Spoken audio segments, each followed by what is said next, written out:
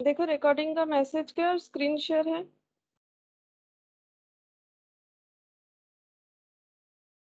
Yes ma'am अच्छा।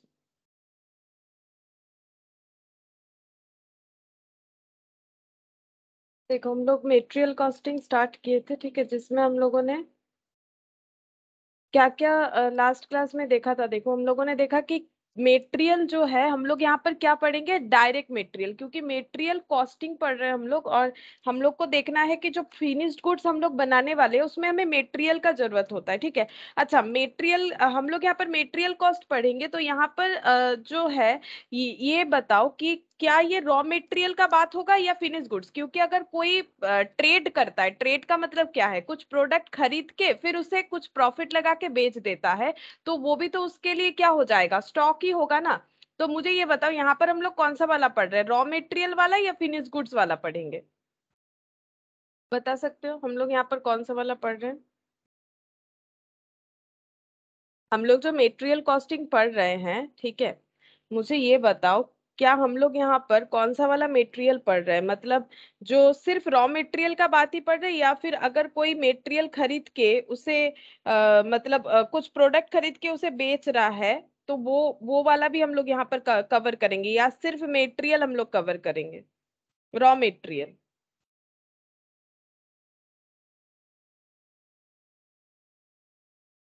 Raw material सिर्फ़ सिर्फ़ रॉ मटेरियल करेक्ट हम लोग यहाँ पर सिर्फ़ और सिर्फ़ रॉ मटेरियल के बारे में ही डिस्कस करेंगे ठीक है? और डायरेक्ट की इनडायरेक्ट बोलो यहाँ पर मटेरियल का कौन सा कॉस्ट हम लोग फाइंड आउट करने वाले हैं? डायरेक्ट मटेरियल कॉस्ट की indirect material cost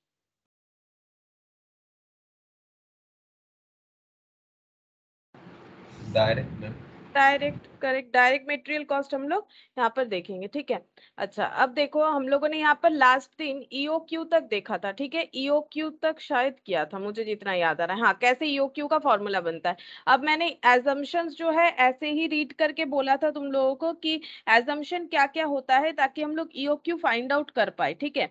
तो देखो, आज हम एजम्पन जो है, वो एक बार लिखवा देते हैं क्या क्या एजम्पन होना चाहिए। तो पहला एजम्पन ये होता है यो क्यू का कि एनुअल रिक्वायरमेंट हमें पता होगा, तभी हम लोग यो क्यू कर पाएँगे। क्योंकि लास्ट दिन जब हम लोगों ने फॉर्मूला देखा, ये चीज़ हम लोग तभी प्रिपेयर कर सकते हैं, अगर हमें एनुअल कंजम्पन पता है। अगर एनुअल कंजम्पशन नहीं पता है तो हम लोग कैसे आइडेंटिफाई करेंगे? अगर मुझे यही नहीं पता कि मुझे पूरे ईयर में 120 यूनिट्स चाहिए तो हम लोग कैसे फाइंड आउट करें कि ये 120 यूनिट्स कैसे हमें अपने पास प्रोक्योर करना है, कैसे मंगवाना है? मतलब 10-10 यूनिट करके 12-12 यूनिट करके या फिर कैसे करके? तो हमें एनुअल कंजम्पशन पता होना चाहिए, तभी जाके हम लोग क्या कर सकते हैं योक्यू फाइंड आउट कर सकते हैं। तो योक्यू का जो बेसिस है, वो देखो क्या क्या होता है।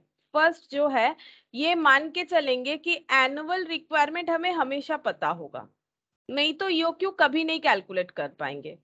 Annual requirement is known in advance with certainty ठीक है? पहले से ही पता होना चाहिए, इसलिए एडवांस और सर्टेनिटी का मतलब होता है कि ये चेंज नहीं होना चाहिए, ठीक है? इतना ही है, पूरे साल भर में एनुअल रिक्वायरमेंट जैसा है वैसा ही रहेगा। दूसरा जो है, हम लोग ये मान के चलेंगे कि इन्वेंट्री का कंजम्पशन इक्वल है। देखो, जैसे हम लोग अगर बोलेंगे बारह यूनिट करके टेन टाइम्स या फिर बारह यूनिट करके ट्वेल्व टाइम्स हम लोग ये प्रोक्योर करना चाहते हैं, इसका मतलब हम लोग ये मान के चल रहे हैं कि हम लोग का टेन यूनिट का कंजम्पशन पर मंथ है या फिर ट्वेल्व यूनिट का कंजम्पशन टेन टाइम टाइम्स में है तो कंजम्पशन जो है, इससे इवन हो जाता है, ठीक है? हम लोग ये नहीं बोल सकते, कभी दस यूनिट कभी बारह, कभी पंद्रह, ऐसा करेंगे तो नहीं होगा, ठीक है? तो इन्वेंट्री का जो कंजम्पशन है, वो हमेशा इक्वल होना चाहिए। The inventory is consumed evenly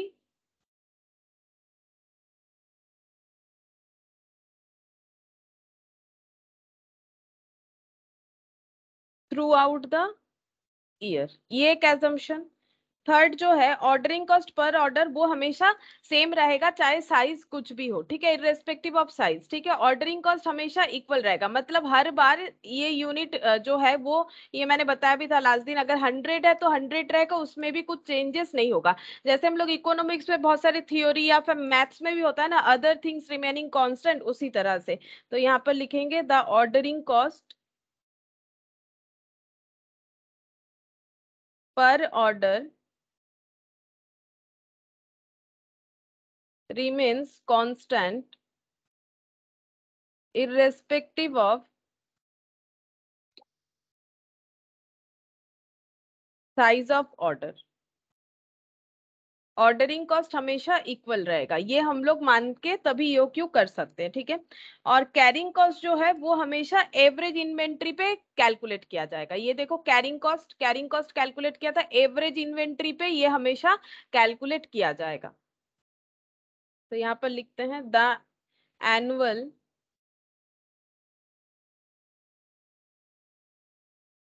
carrying cost is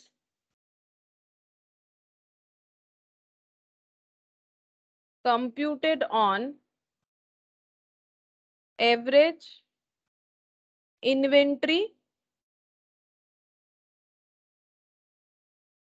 ordered carrying cost हमेशा एवरेज करके कैलकुलेट करेंगे पर कैरिंग uh, मतलब पर यूनिट पे कैरिंग कॉस्ट नहीं कैलकुलेट करेंगे। पर यूनिट पे मतलब यहाँ तो पर यूनिट लिखा हुआ है मैम पर यूनिट लिखा हुआ है ये तो हम लोग कैलकुलेट कर रहे हैं कि कैरिंग कॉस्ट एक यूनिट पे एक साल का कितना होगा लेकिन ये हर एक यूनिट पे नहीं कैलकुलेट करेंगे। हम लोग पूरा जो हम लोग का इन्वेंट्री है उसका एवरेज करके उसको कैरी करने का कॉस्ट कैलकुलेट किया जाता है ठीक है?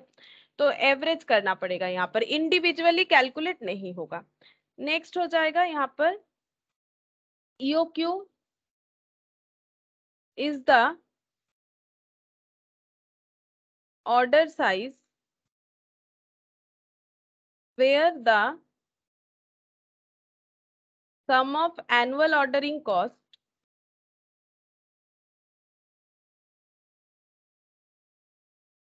and carrying cost is the least and also equal. देखो EOQ में अगर हम लोग ऑर्डर करेंगे तो वो एक ऐसा ऑर्डर साइज़ होगा जहाँ पर sum of annual ordering cost and carrying cost मतलब ordering cost plus carrying cost sum ठीक है? सब मतलब टोटल ये जो है इज़ लीस्ट मतलब सबसे कम होगा। तो यहाँ पर हम लोगों ने तो तीन कॉस्ट देखा था। Ordering carrying is associated cost इसके अलावा भी हम लोगों ने एक कॉस्ट देखा था परचेज कॉस्ट इसको क्यों कंसिडर नहीं करते? क्योंकि ये मार्केट पे डिपेंड करता है। ये हमारे कंट्रोल में नहीं है। लेकिन इसको हम लोग अपने हिसाब से कम ज़्यादा कर सकते हैं। ज़्यादा ऑर्डर करेंगे तो ऑर्डरिंग कॉस्ट ज़्यादा होगा कैरिंग कॉस्ट कम होगा। ये हमारे कंट्रोल में होता है। हम लोग अपने हिसाब से कर सकते हैं। बट परचेस का कॉस्ट हमारे कंट्रोल में नहीं होता है तो परचेस का कॉस्ट तो हमें उतना ही देना पड़ेगा जितना डिमांडिंग होगा मार्केट के हिसाब से। बट ये हम लोग अपने हिसाब से चेंज कर सकते हैं। तो वही बोल रहा है sum of annual ordering cost and carrying cost ये जो है दोनों का टोटल ये सबसे कम होता है। क्यों कम होता है? क्योंकि हम लोग अगर इसको इक्वल करते हैं, तभी ईओ क्यू जनरेट होता है, जो कि सबसे लीस्ट कॉस्ट में हमें इन्वेंट्री खरीदने में हेल्प करता है, ठीक है? Least and also equal equal हिसाब से ही तो हम लोगों ने ये फॉर्मूला बनाया था, ठीक है? इसीलिए इक्वल भी होता है। अच्छा। अब इसका देखो नेक्स्ट सिक्स नंबर और एक है। Purchase price per unit remain constant ठीक है? ये भी हम हम लोग का एक एजम्पन रहता है कि एक यूनिट का परचेज प्राइस जो है वो कांस्टेंट है। मतलब अगर दस रुपए पर यूनिट करके मिल रहा है, हम लोग ये मान के चलते हैं कि दस रुपए पर यूनिट करके ही मिलेगा। Purchase price per unit remain constant अगर ये नहीं मानेंगे तो ये फॉर्मूला नहीं बनता, ठीक है? क्योंकि यहाँ पर फिर चेंज हो जाएगा ना carrying cost per unit per annum ये कैरिंग कॉस्ट जो है एक साल का पर यूनिट मतलब क्या? मेटेरियल का परचेज बाबा रे, इतना ज़ोर बिजली करता एक सेकंड रुको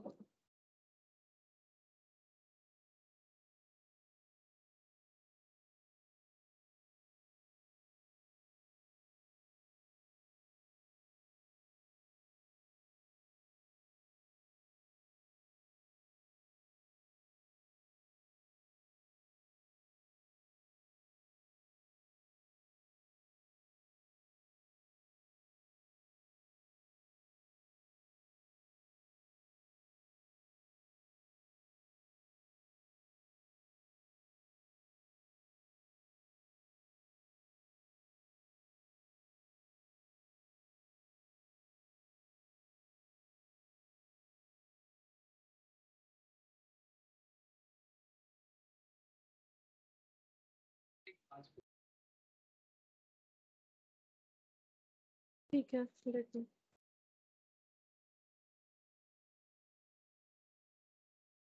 अच्छा purchase price per unit remain constant होगा, ठीक है? अब हम लोगों का यहाँ पर जितने भी एजम्पशन है टोटल सिक्स एजम्पशन है तो ये एजम्पशन हम लोगों ने देख लिया, ठीक है? अच्छा अब नेक्स्ट हम लोग इस पे, इसका जो है डायग्राम जो है, वो कुछ इस तरह से होता है, देखो, अगर हम लोग इसको ग्राफ पेपर में प्लॉट करते हैं ग्राफिकली तो यहाँ पर लिख सकते हैं कॉस्ट ठीक है, ये वाई एक्सिस है, ये एक्स एक्सिस होता है, ये हो गया कॉस्ट ठीक है, और यहाँ पर हो जाएगा साइज़ तो साइज़ मान लो, यहाँ पर ऐसे है, ठीक है, और कॉस्ट तो ये ओ ज़ीरो होता है one two three four five six seven, eight, ठीक है? यहाँ पर भी one, two, three, four, five, six. मुझे एक चीज़ बताओ, अगर हम लोगों का साइज़ जितना बढ़ेगा, कॉस्ट में क्या इम्पैक्ट आएगा? साइज़ जितना ज़्यादा होगा, अगर हम लोग एक बार एक यूनिट ऑर्डर कर रहे हैं, साइज़ यूनिट में मान लो, अगर हम लोग एक यूनिट ऑर्डर कर रहे हैं तो कॉस्ट कितना आएगा? दो यूनिट ऑर्डर करेंगे तो कॉस्ट कितना आएगा? तीन यूनिट ऑर्डर करेंगे तो कॉस्ट कितना आएगा? जितना साइज़ बढ़ेगा, हमारे कॉस्ट में क्या इम्पैक्ट आएगा?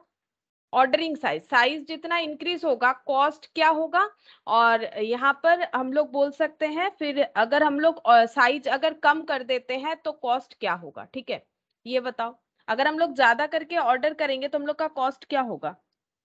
हम लोग को ऑर्डरिंग कॉस्ट कैरिंग कॉस्ट दोनों को ही चेक करना है। तो दोनों हम लोग ड्रॉ करेंगे ऑर्डरिंग कॉस्ट और कैरिंग कॉस्ट साइज़ बढ़ेगा तो ऑर्डरिंग कॉस्ट का क्या होगा और कैरिंग कॉस्ट का? ये बताओ। ऑर्डरिंग कॉस्ट क्या होगा? और इंक्रीज होगा तो ऑर्डरिंग कॉस्ट क्या होगा? साइज़ बिगर हो रहा है, इसका मतलब ऑर्डर ज़्यादा बार करना पड़ेगा कि कम टाइम ये सोचो, अगर हम लोग साइज़ ज़्यादा मतलब अगर ज़्यादा क्वांटिटी में ऑर्डर कर रहे हैं तो ऑर्डरिंग कॉस्ट क्या होगा? कम या ज़्यादा? अगर हम लोग ज़्यादा क्वांटिटी में ऑर्डर करें मान लो हमें हंड्रेड यूनिट चाहिए पूरे साल भर में, हम लोग क्या कर रहे हैं, दस यूनिट करके दस बार ऑर्डर कर रहे हैं। और हम लोगों ने सोचा ऐसा ना करके हम लोग एक काम करते हैं फिफ्टी यूनिट करके दो बार ऑर्डर करते तो भी हमें सौ यूनिट मिल ही जाएगा तो किसमें ऑर्डरिंग कॉस्ट ज़्यादा होगा, बोलो। साइज़ ज़्यादा होने पे ऑर्डरिंग कॉस्ट क्या हो जाएगा? जब साइज़ ज़्यादा होगा 50 यूनिट्स हो जाएगा तो ऑर्डरिंग कॉस्ट क्या हो जाएगा? कम हो जाएगा। कम बार ऑर्डर करना पड़ेगा, दो बार ऑर्डर करें अगर साइज़ जो है, ये हम लोगों का कम हो जाता है 10 यूनिट्स करके हो जाता है तो ऑर्डरिंग कॉस्ट क्या हो जाएगा? बढ़ जाएगा, क्योंकि बार बार ऑर्डर करना पड़ेगा, ठीक है? साइज़ कम होगा तो ऑर्डरिंग कॉस्ट बढ़ जाएगा। इसका मतलब अगर हम लोग ये कर्व को इस तरह से ड्रॉ करें तो एक हम लोग का ऐसा दिखेगा ऐसा, ठीक है? साइज़ जितना बढ़ेगा हम लोग का ऑर्डरिंग कॉस्ट बढ़ जाएगा। अगर ये ऑर्डरिंग कॉस्ट वाला है। दूसरा देखो, हम लोग ये दिखा सकते हैं कि साइज़ जितना और यहाँ पर क्या हुआ? साइज़ के साथ ऑर्डरिंग कॉस्ट बढ़ गया। अब कैरिंग कॉस्ट का क्या होगा? कैरिंग कॉस्ट ये है कि साइज़ जितना कम होगा, ठीक है? साइज़ जितना कम होगा कैरिंग कॉस्ट क्या हो जाएगा? कैरिंग कॉस्ट उतना कम हो जाएगा। और साइज़ जितना ज़्यादा होगा कैरिंग कॉस्ट उतना क्या हो जाएगा? बढ़ जाएगा, ठीक है? कैरिंग कॉस्ट उतना बढ़ जाएगा। तो यहाँ पर क्या हो जाएगा? जाएगा, देखो, जितना ज़्यादा साइज़ होगा साइज़ जितना ज़्यादा होगा कैरिंग कॉस्ट हम लोग का उतना इंक्रीज हो जाएगा, ठीक है? तो ये कुछ इस तरह से होगा। कॉस्ट बढ़ेगा साइज़ जितना बढ़ेगा कॉस्ट बढ़ेगा। तो ये इस तरह से देखने में होगा। इसका मतलब ये जहाँ पर इंटरसेक्ट कर रहा है, देखो, ये जहाँ पर इंटरसेक्ट कर रहा है, ये वाला पॉइंट ठीक है? ये इंटरसेक्शन पॉइंट कौन सा है? इंटरसेक्शन पॉइंट है ईओक्यू जहाँ पर दोनों चीज़ ही क्या हो जाएगा? इक्वल हो जाएगा carrying cost as well as ordering cost तो ये हम लोग का ईओक्यू हो जाएगा, ठीक है? ये पॉइंट जो है ईओक्यू हो जाएगा। इसको हम लोग बोलेंगे ईओक्यू अच्छा। अब हम लोग कुछ ईओक्यू का देखो। ईओक्यू तक तो हम लोगों ने एक बार थियोरेटिकली पूरा समझ लिया है। अब हम लोग क्या करेंगे? ईओक्यू रिलेटेड कुछ क्वेश्चन सॉल्व करेंगे। ये देखो। यहाँ पर ही करके दिखा देते हैं। देखो, यहाँ पर पहला क्वेश्चन बोला है calculate EOQ from the following information also state the number of orders to be placed in year तो बोलो, यहाँ पर ईओक्यू क्या हो जाएगा? Two into A C into O C divided by carrying cost per unit per annum ये formula use करके हमें ईओ क्यू कैलकुलेट करना है, ठीक है? तो यहाँ पर ईओ क्यू कैसे कैलकुलेट होगा? टू एनुअल कंजम्पशन कितना है? ये देखो consumption of material per annum कितना हो जाएगा? टेन थाउज़ेंड ठीक है? ऑर्डरिंग कॉस्ट कितना है? Order order placing cost order ठीक है? Order placing cost per order fifty rupees एक बार ऑर्डर प्लेस करने का खर्चा है fifty rupees carrying cost per unit per annum तो carrying cost cost per KG of raw material एक किलो रॉ मटेरियल का प्राइस होता है टू रुपीज़ ठीक है? अब एक एक यूनिट को कैरी करने का खर्चा कितना होगा? Eight percent on average inventory. तो जैसे एवरेज इन्वेंट्री बोल रहा है हमें पता है कि कैरिंग कॉस्ट एवरेज इन्वेंट्री पे होता है तो एट परसेंट हमें जो है चार्ज करना पड़ेगा। लेकिन किस पे करेंगे? मेटेरियल कॉस्ट पे। मेटेरियल कॉस्ट कितना है? टू टू पे एट परसेंट ठीक है? हमेशा कैरिंग कॉस्ट जो है मेटेरियल कॉस्ट पे होता है। टू थाउज़ेंड फाइव हंड्रेड के जी 2500 2500 केजी ठीक है? 2500 केजी ये आंसर होगा यो क्यू और इसके साथ साथ और एक क्वेश्चन भी पूछ लिया है। Also state the number of order to be placed in year एक साल में कितना बार ऑर्डर करना पड़ेगा? बोलो एक साल में कितना बार ऑर्डर करना पड़ेगा? मैंने फॉर्मूला तो नहीं बताया कैसे कैलकुलेट करना चाहिए लेकिन तुम लोग बोल सकते हो। तुम लोग को ये पता है कि एक साल में टोटल कितना किलो चाहिए? चार बार ठीक। ये देखो, हम लोग को टेन थाउज़ेंड किलो चाहिए पूरे साल भर में और हम लोगों ने ये डिसाइड किया है कि हम लोग एक एक बार में two thousand five hundred kilo करके ऑर्डर करेंगे तो फोर टाइम्स ऑर्डर करना पड़ेगा, फोर टाइम्स जो है ऑर्डर करना पड़ेगा। तो नंबर ऑफ़ ऑर्डर का फॉर्मूला क्या हो जाता है? टेन थाउज़ेंड क्या है? एनुअल कंजम्पशन, ठीक है? और ये क्या है? टू थाउज़ेंड फाइव हंड्रेड क्या है? टू थाउज़ेंड फाइव हंड्रेड है E O E O Q का मतलब number of order number of sorry number of order बोल रहे हैं। Unit to be ordered in a order मतलब एक बार में कितना यूनिट ऑर्डर करना है, ठीक है? तो हम यहाँ पर ये फॉर्मूला लिख के दिखा देते हैं, ठीक है? कि अगर नंबर ऑफ़ ऑर्डर पूछ ले तो हम लोगों को क्या कैलकुलेट करना पड़ता है? यहाँ पर लिख देते हैं, ठीक है? Number of orders to be placed in a year total consumption per annum या फिर एनुअल कंजम्पशन ठीक है? Divided by E O Q ये फॉर्मूला होता है। इससे हम लोग कोई भी क्वेश्चन कर सकते हैं, ठीक है? ये वाला जैसे किया, ऐसा हम लोग कोई भी क्वेश्चन कर सकते हैं। नेक्स्ट देखो ये वाला भी ईओ क्यू पे है बोल रहा है कि the average annual consumption of a material is 18,250 मतलब एसी ठीक है? Eight A price of 36.50 per unit मतलब एक किलो का प्राइस है मतलब यूनिट जो भी है एक यूनिट का प्राइस है 36.50 the storage cost storage cost मतलब कौन सा होता है? कैरिंग होता है कि ऑर्डरिंग होता है? ये जैसे ये कौन सा है? ये परचेस कॉस्ट है ना? ये परचेस कॉस्ट है ये मार्केट प्राइस है। स्टोरेज कॉस्ट मतलब कैरिंग कॉस्ट होता है ठीक है? कैरिंग कॉस्ट ट्वेंटी देखो ना एवरेज जब भी बोलेगा, तब पता है कि हम लोगों को एवरेज किस पे होता है? कैरिंग कॉस्ट को हम लोग एवरेज करते हैं। तो twenty percent on average inventory and the cost of placing an order is fifty मतलब ordering cost how much quantity is to be purchased at a time एक बार में कितना क्वांटिटी परचेस करना चाहिए? एक बार में जस्ट एक बार में कितना ऑर्डर करें? यानी यो क्यू? तो two eighteen two fifty A C O C मतलब ordering cost fifty carrying cost per unit per annum तो thirty six point five zero पे कितना परसेंट लगेगा? ट्वेंटी परसेंट अब इसको चेक करके देखना पड़ेगा कितना हो रहा है।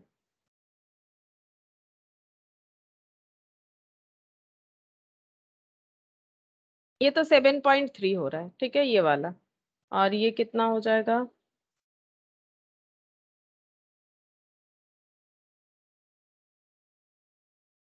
Two into eighteen two fifty in two fifty one lakh eighty two thousand sorry 18250 into 50 1 lakh 82000 sorry 18 lakh 25000 18 seven point three divided 7.3 seven point three two lakh fifty इस पे रूट ठीक है? टू लैख फिफ्टी मतलब कितना? Five thousand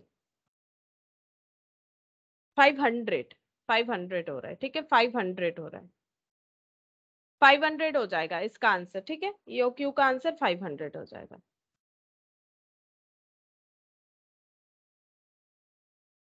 next देखते हैं।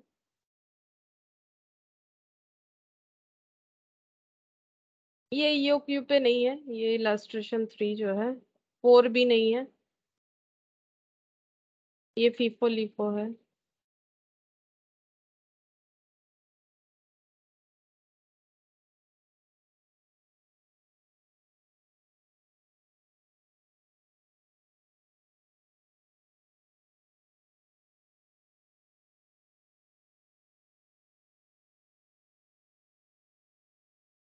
ये वाला है। इलास्ट्रेशन थर्टीन ये वाला देखो। Anil company buys its annual requirement thirty six thousand मतलब एसी हो गया इन सिक्स इंस्टॉलमेंट देखो सिक्स इंस्टॉलमेंट में ये लोग खरीदता है तो एट ए टाइम कितना खरीदता है? अगर सिक्स इंस्टॉलमेंट अभी करेंटली ऐसा ये लोग कर रहा है तो सिक्स इंस्टॉलमेंट यानी at a time six thousand unit करके परचेस कर रहा होगा। Each unit cost rupees one and the ordering cost twenty five ordering cost है twenty five each unit cost one का मतलब परचेस प्राइस ठीक है? ईच यूनिट कॉस्ट वन का मतलब परचेस प्राइस है rupees one per unit the inventory carrying cost is estimated at 20% of unit value. Carrying cost जो है, वो 20 परसेंट अप्लाई करना यूनिट वैल्यू मतलब परचेस प्राइस पे। वैसे भी हमें पता है कि ये परचेस प्राइस पे ही होता है। Find the total annual cost of existing inventory how much money can be saved by using EOQ existing जो भी चल रहा है, उसमें एनुअल कॉस्ट कितना है? और अगर हम लोग योक्यू फॉलो करेंगे तो हम लोग का कॉस्ट कितना आएगा, ये पूछ रहा है, ठीक है? क्वेश्चन में दो तीन पॉइंट हमें पूछ रखा है। पहले तो यहाँ पर बोल रखा है कि ये लोग कोई एक प्रोसेस से तो अभी खरीद रहे हैं। That is six instalment basis पे थर्टी सिक्स थाउज़ेंड का रिक्वायरमेंट फुलफिल करने का कोशिश कर रहे हैं, ठीक है? अब इन, ये जो भी मेटेरियल खरीदा जा रहा है, ये रुपीज़ वन पर यूनिट करके है ऑर्डरिंग कॉस्ट इस पे ट्वेंटी फाइव आता है। Inventory carry carrying cost twenty percent of unit value होता है। टोटल एनुअल कॉस्ट पूछ रहा है of the existing inventory policy existing inventory policy तो छह इंस्टॉलमेंट वाला है, ठीक है? तो एग्जिस्टिंग इन्वेंट्री पॉलिसी से क्या खर्चा आ रहा है? ये हमें कैलकुलेट करने बोला है तो ये हम करके दिखा देते हैं, ये देखो।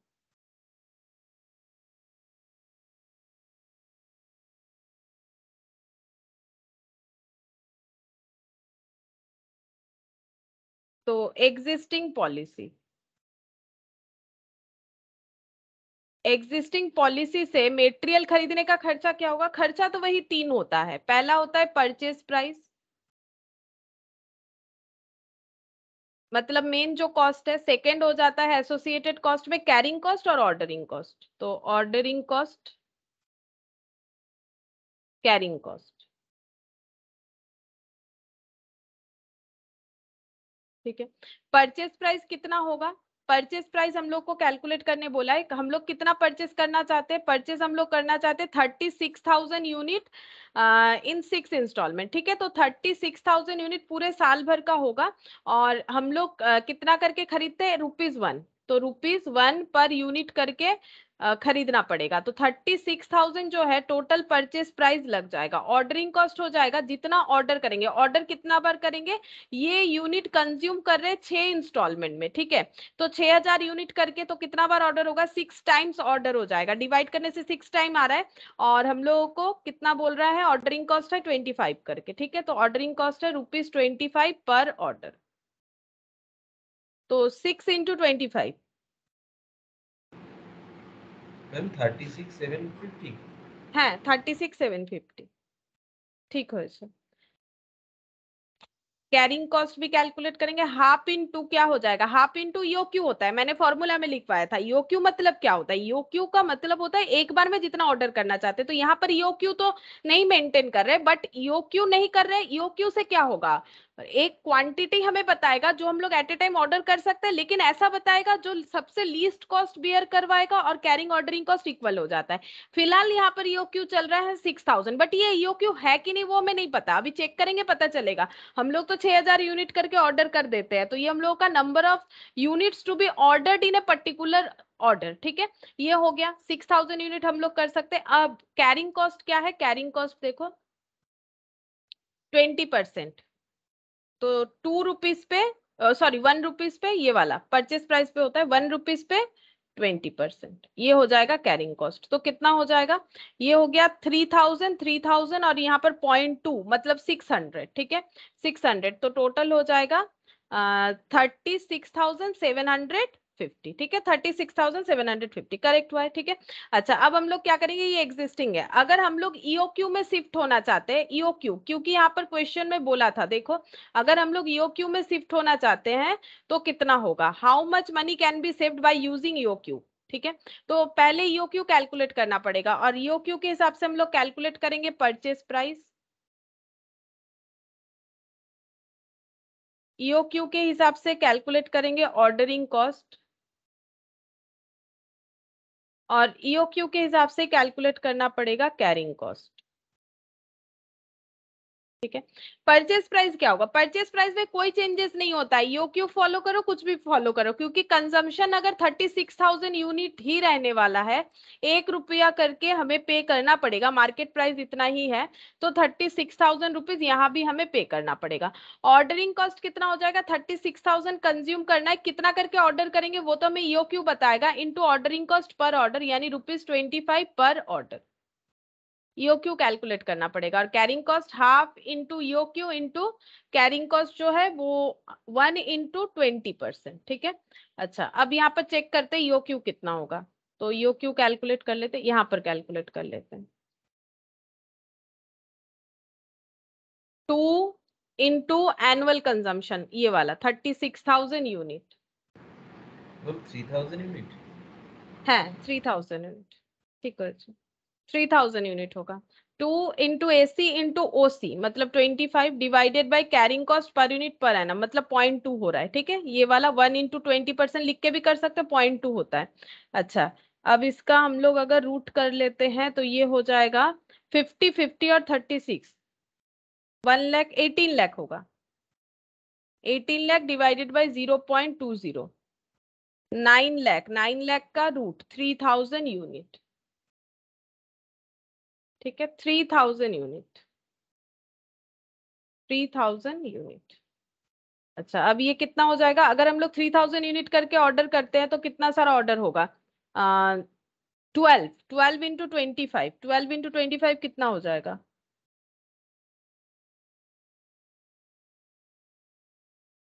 थर्टी तीन सौ रुपया। ठीक है? थ्री हंड्रेड ही हो रहा है। अच्छा अब यहाँ पर देखो ऑर्डरिंग कॉस्ट अगर 300 आया कैरिंग कॉस्ट भी कितना आएगा बोल सकते हो? अगर बिना कैलकुलेट करे भी पूछा जाए तो तुम लोग बोल सकते हो क्योंकि योगी 300 ही आएगा। चेक करके देख लो 300 ही आएगा क्योंकि ऑर्डरिंग कैरिंग इक्वल होता है तभी वो यो क्यू बनता है। फॉर्मूला वैसे ही बना हुआ है। Thirty six thousand six hundred हो गया ठीक है? तो यो क्यू में सेव कितने का होगा? ये दोनों का डिफरेंस देख लो। Uh, ये seven fifty rupees one fifty rupees का सेविंग्स होगा ठीक है? तो यहाँ पर लिख देते हैं savings by using EOQ equal to thirty six thousand seven hundred fifty minus thirty six thousand six hundred. One fifty rupees का सेविंग्स होगा अगर हम लोग ईओ क्यू फॉलो करेंगे? अच्छा ये हो गया थर्टीन नंबर। यहाँ पर भी यो क्यू ही बोला है, देखो। एनुअल डिमांड ये वाला मतलब एनुअल कंजम्पशन यूनिट कॉस्ट मतलब purchase price six and inventory carrying charges ये ट्वेंटी फाइव दे रखा है ठीक है? ये ट्वेंटी फाइव परसेंट है। ये 25 परसेंट है वो थोड़ा सा ये हो गया 25 percent per annum if the cost of one procurement one procurement का मतलब एक बार अपने पास मटेरियल uh, को पहुँचाने का प्रोक्योर करने का मतलब क्या है? जुगाड़ लगाना। तो एक बार प्रोक्योर करने का खर्चा 150 यानी कि ये क्या है? ऑर्डरिंग कॉस्ट है ठीक है? 150 क्या है? ऑर्डरिंग कॉस्ट है डिटरमाइन करना यो क्यू तो यो क्यू कितना होगा? Two into annual consumption into ordering cost per order 150 carrying cost per unit per annum carrying cost 25 percent है सिक्स रुपीज़ पे अप्लाई हो जाएगा ठीक है? अच्छा देखते हैं कितना आता है। 15 into twenty three hundred three hundred और uh, ये हो गया सिक्स और ये नाइन हो जाएगा। और 300 पे दो ज़ीरो था, यहाँ पर और भी दो ज़ीरो। नाइन सिक्स, ये हो गया नाइन लैख सिक्सटी थाउज़ेंड आ जाएगा। और सिक्स का ट्वेंटी फाइव परसेंट तो ट्वेंटी फाइव मतलब हो जाता है वन फोर्थ, ठीक है तो फोर फाइव हो जाएगा, वन पॉइंट फाइव, ठीक है? Nine lakh sixty thousand divided by one point five कितना होता है? Six lakh forty, six lakh forty पे रूट लगाना है। एट हंड्रेड, ठीक है? एट हंड्रेड यूनिट हो गया ईओक्यू का आंसर 800 यूनिट। अब हम लोग को इसके बाद भी पॉइंट बी में पूछा है number of orders per order per year ठीक है? एक साल में कितना ऑर्डर देना पड़ेगा? अभी अभी मैंने बताया, कैसे कैलकुलेट करेंगे? Number of orders per year कितना हो जाएगा? हम लोग को कंजम्पशन करना है 3200 यूनिट, पूरे साल में चाहिए। डिसाइड क्या है कि 800 करके अगर ऑर्डर करेंगे तो सबसे चीपेस्ट होगा। तो कितना हो गया? फोर। नंबर ऑफ़ ऑर्डर हो जाएगा फोर टाइम्स। चार बार करना पड़ेगा। ये वाला बताओ, ये कैसे कैलकुलेट होगा? Time between two consecutive order. Time between two consecutive order मतलब एक बार ऑर्डर करने के कितने दिन बाद नेक्स्ट ऑर्डर करेंगे। कितना करके करना है वो तो समझ गए ठीक है? हम लोग को हर बार 800 करके करना है ऐसा चार बार करना है। लेकिन चार बार कब कब करें? कितने दिन के गैप में चार बार ऑर्डर करें? तो ये कैसे कैलकुलेट करेंगे? देखो फोर टाइम्स जो ऑर्डर कर रहे हैं ये तो पूरे है थ्री मंथ्स अगर हम लोग मंथली कैलकुलेट करें, देखो ये चार बार ऑर्डर करें, पूरे बारह महीने में चार बार ऑर्डर कर तो वन मंथ में फोर बाई ट्वेल्व तो इसका मतलब कितना हो जाएगा? फोर बाई ट्वेल्व कर दिया मैंने सॉरी उल्टा कर दिया। हम लोग चार बार ऑर्डर कर रहे हैं ट्वेल्व मंथ्स में, ठीक है?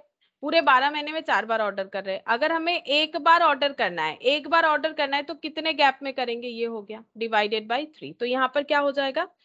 ट्वेल्व बाई फोर यानी थ्री मंथ्स अगर हम लोग मंथ्स में आंसर लिखना चाहते हैं मतलब थ्री मंथ्स के गैप में, तभी चार बार होगा। देखो ना क्वार्टर हो जा रहा है ना, अगर हमें चार बार ऑर्डर करना है तो थ्री मंथ्स के गैप में करेंगे तो बारह महीने में चार बार ऑर्डर कर सकते हैं। अगर हम लोग इसको मंथ्स की जगह, यहाँ पर थ्री डेज़ कर देते हैं तो डेज़ में ऑर्डर आ जाएगा आंसर शायद पॉइंट में आ जाए, क्योंकि यहाँ पर फाइव है पीछे, ठीक है? तो डेज़ में हो सकता है मंथ में हो सकता है वीक में भी हो सकता है like fifty two week fifty two week में भी हम लोग आंसर दे सकते हैं। तो इसका भी फॉर्मूला जो है एक बार लिखवा देते हैं देखो। यहाँ पर।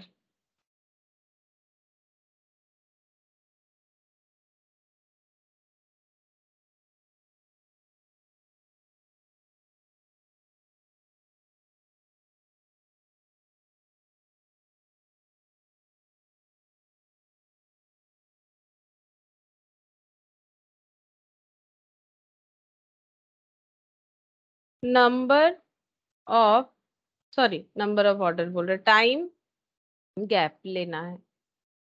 Time between two consecutive order equal to number of months days और वीक इन ए ईयर एक साल में जितना भी दिन हो या मंथ हो या साल हो, जैसे हमें आंसर पूछेगा, अगर ऑप्शंस जिनका है ऑप्शंस के हिसाब से आप लोग को देखना पड़ेगा। डिवाइडेड बाय हम लोग करेंगे नंबर ऑफ़ ऑर्डर ठीक है? तो हम लोग का आंसर मिल जाएगा कि कितना टाइम गैप होगा दो ऑर्डर के बीच में।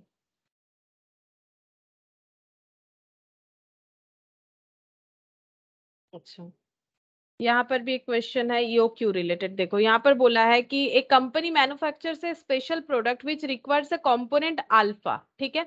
ये देखो इसका मतलब क्या? ये जो मैन्युफैक्चर कर रहा है मतलब रॉ मटेरियल जैसे मैंने आज पूछा था स्टार्टिंग में कि हम लोग रॉ मटेरियल का कैलकुलेशन uh, करने वाले हैं या finish goods the following particular are calculated for the year 2015 ये बोल रहा है। एनुअल डिमांड ये तो बता ही दिया एनुअल कंजम्पशन जिसको हम लोग बोल रहे हैं cost of placing an order मतलब ordering cost cost per unit of alpha मतलब ये परचेज प्राइस हो गया carrying cost twenty per annum per annum ठीक है?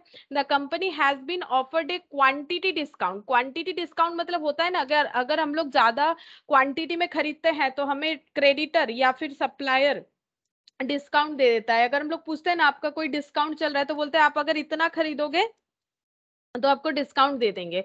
तो क्वांटिटी डिस्काउंट चल रहा है four percent on the purchase of alpha provided the order size is four thousand component at a time तो ये देखो, यहाँ पर कंडीशन क्या दे दिया? अगर एट ए टाइम हम लोग at least four thousand component purchase करते हैं, तब हमें फोर परसेंट डिस्काउंट दे देगा किस पे? परचेस प्राइस पे, यानी इस पे, है ना? तो 400 के जगह कितने में हमें मिल जाएगा? 400 में चार परसेंट लेस कर दो। 400 में चार परसेंट यानी सिक्सटीन रुपीज़ कम हो जाएगा। तो सिक्सटीन कम करेंगे तो फोर हंड्रेड पे सिक्सटीन रुपीज़ कम करने पे जितना आएगा, उतने में हमें मिल सकता है, ठीक है? तो थ्री एट्टी फोर आ रहा है। थ्री एट्टी फोर में मिलेगा। अच्छा हमें क्या करना है? हमें यहाँ पर बताना है कि ये स्कीम लेना सही रहेगा हम लोगों के लिए या फिर नहीं रहेगा? देखो, नीचे लिखा हुआ होगा।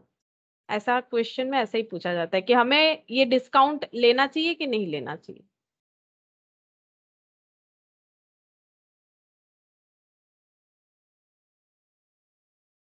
ये अच्छा यहाँ पर से शायद मेरे से हट गया है। चलो, कोई बात नहीं। यहाँ पर हमें क्या कैलकुलेट करना पड़ेगा? वही ईओ क्यू कैलकुलेट करना पड़ेगा और हमें ये ऑफ़र लेना चाहिए या नहीं लेना चाहिए, ये बताना है, ठीक है? तो क्वेश्चन में पहले पूछा था ईओ क्यू बताओ तो हम लोग पहले ईओ क्यू कैलकुलेट कर लेते हैं।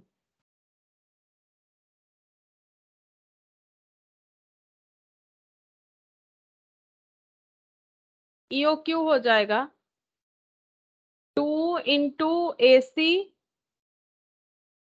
eight thousand ordering cost ordering cost है two hundred divided by carrying cost per unit per annum carrying cost है ट्वेंटी परसेंट कितने पे लगेगा? फोर हंड्रेड पे, ठीक है? फोर हंड्रेड पे ही क्यों लग रहा है? फोर परसेंट डिस्काउंट पे क्यों नहीं लग रहा है? क्योंकि ये तो नॉर्मल प्राइस है। डिस्काउंट तब मिलेगा अगर हम लोग चार हज़ार करके ऑर्डर करेंगे। लेकिन ईओ क्यू चार हज़ार होगा कि नहीं, वो तो हमें नहीं पता है ना। हम लोग अभी पहले नॉर्मली कैलकुलेट करके देखेंगे कि हम लोग का ईओ क्यू कितना आ रहा है। तो यहाँ पर ईओ क्यू कितना आ जाएगा? ये हो गया टू टू जो फोर और eight thirty two divided by ये हो जाएगा eighty four forty thousand zero zero cancel. तो यहाँ पर ईओ क्यू हो जाएगा।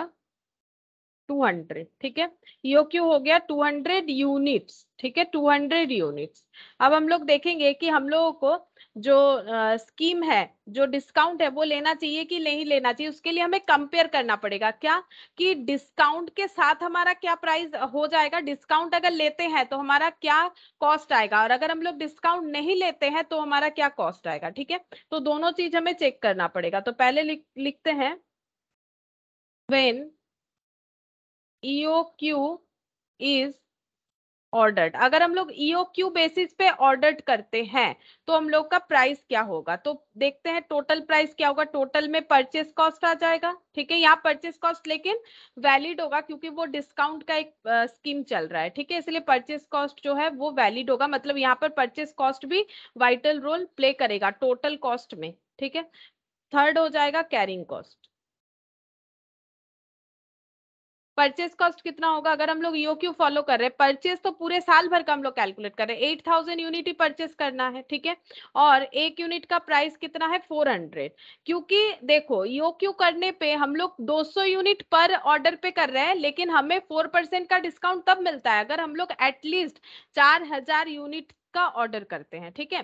तो इसीलिए हम लोग को यहाँ पर किसी तरह का डिस्काउंट नहीं मिलने वाला है परचेस प्राइस पे। तो ये हो जाएगा thirty two lakh ordering cost तो ऑर्डरिंग कॉस्ट कितना होगा? ऑर्डरिंग कॉस्ट हो जाएगा जितना एनुअल कंजम्पशन करना है और एट ए टाइम हम लोग 200 यूनिट करके ऑर्डर करें तो नंबर ऑफ़ ऑर्डर आ जाएगा into ordering cost per order जो कि है 200 तो ये देखो 200 200 कैंसिल ये हो जाएगा 8000 अब कैरिंग कॉस्ट भी ना 8000 ही आएगा. क्यों? क्योंकि ये तो ईओ क्यू है. 8000 ही आएगा. चेक कर लो. Half into EOQ into carrying cost per unit per annum तो कैरिंग कॉस्ट कितना है? Four four hundred into twenty percent ठीक है? तो ये कितना हो जाएगा? ये हो गया यहाँ पर 400 और ये दो। देखो ये 400 हंड्रेड इंटू ट्वेंटी हो जाएगा। आ, कितना हो जाता है? 400 हंड्रेड इंटू ट्वेंटी परसेंट। ये एट्टी हो जाता है ठीक है? Divided by two forty. Forty into two hundred eight thousand हो जाएगा। तो सिक्सटीन थाउज़ेंड तो thirty two lakh sixteen thousand अगर हम लोग ईओक्यू बेसिस पे चलते हैं तो हम लोग का टोटल कॉस्ट आता है thirty two lakh sixteen thousand ठीक है? अब चेक करेंगे कि अगर हम लोग ऑर्डरिंग कॉस्ट को चेंज कर देते हैं सॉरी ऑर्डर क्वांटिटी को चेंज कर देते हैं, कम से कम चार हज़ार यूनिट ऑर्डर करेंगे एट ए टाइम में डिस्काउंट लेने का मतलब है चार हज़ार यूनिट का ऑर्डर साइज़ होना चाहिए मतलब कितने बार में ऑर्डर खत्म हो जाएगा पता है? टू टाइम्स में, है ना? फोर थाउज़ेंड एक बार ऑर्डर करेंगे फिर फोर थाउज़ेंड एक बार ऑर्डर करेंगे। अगर ऐसा ऑर्डर करते हैं तो हम लोग का आठ हज़ार कंजम्पशन खत्म हो जाता है हम लोग को डिस्काउंट भी मिलेगा। लेकिन टोटल में देखना पड़ेगा कि प्रॉफिटेबल है कि नहीं है। तो हम यहाँ पर चेक करके देखते हैं। Quantity discount is accept if quantity discount is accept अगर हम लोग क्वांटिटी डिस्काउंट एक्सेप्ट करते हैं तो हम लोगों का परचेस प्राइस क्या होगा? ये परचेस प्राइस में लिखते हैं। परचेस प्राइस हो जाएगा। कंजम्पशन तो उतना ही है। एट थाउज़ेंड यूनिट ठीक है? और कितना करके आएगा? अब फोर हंड्रेड पे हम लोगों का डिस्काउंट चल जाएगा four hundred into four percent ठीक है? तो ये आ जाएगा प्राइस इसको हम यहाँ पर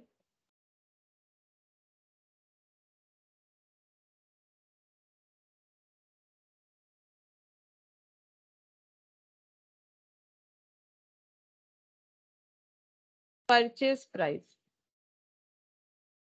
8000 unit into 384 rupees three eighty four ठीक है, यहाँ पर लिख देते हैं डिस्काउंट अगर होता है तो प्राइस हो जाता है eight hundred sorry four hundred minus four percent अच्छा three eighty four into eight thousand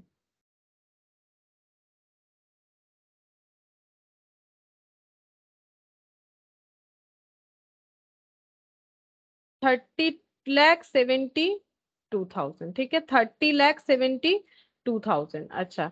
अब ऑर्डरिंग कॉस्ट ऑर्डरिंग कॉस्ट कितना हो जाएगा? Number of order four thousand करके देंगे at a time in two two hundred तो ये कितना हो जाएगा? ये हो गया चार चार सौ, ठीक है?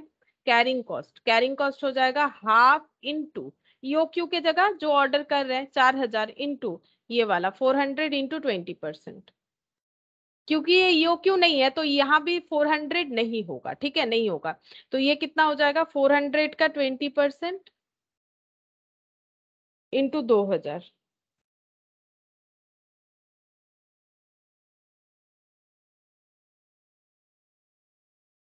वन लैख सिक्सटी थाउज़ेंड आ रहा है मेरा। ओ अच्छा यहाँ पर देखो मैंने फोर हंड्रेड लगा दिया ना ये गलत हो जाएगा यहाँ पर कितना लगाना चाहिए three hundred eighty four three hundred eighty four होगा ठीक है अच्छा फिर से करना पड़ेगा thirty two lakh twenty six thousand thirty two lakh twenty six হ্যাঁ হ্যাঁ টোটাল হচ্ছে thirty two lakh twenty six thousand এইটা 384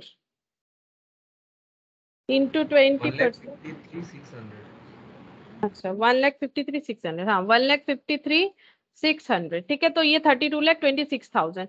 तो डिस्काउंट लेके कोई फ़ायदा नहीं है। ईओ क्यू में सिक्सटीन थाउज़ेंड ही आ रहा है। थर्टी टू लैख दोनों में ही आ रहा है। मतलब टेन थाउज़ेंड फिर भी ईओ क्यू में हम लोगों का जो है बचत होगा, ठीक है? तो हम लोगों को डिस्काउंट वाला ऑफ़र नहीं लेना चाहिए। इसीलिए बोला जाता है ईओ क्यू जो है सबसे चीपेस्ट वे में हम लोग ऑर्डर कर सकते हैं ईओ क्यू के थ्रू से, ठीक है? तो यहाँ पर लिखते हैं। The total cost of inventory is lower if EOQ is adopted. Hence, the company is advised not to accept the quantity discount. Quantity discount लेके कोई फ़ायदा नहीं है। दस हज़ार ज़्यादा पे करना पड़ेगा। देखने में ही डिस्काउंट लग रहा है, बट अगर हम लोग इसका एनालिसिस करना आता है, एनालिसिस कर लेते हैं तो हमें समझ में आ जाएगा कि क्या हो रहा है, ठीक है?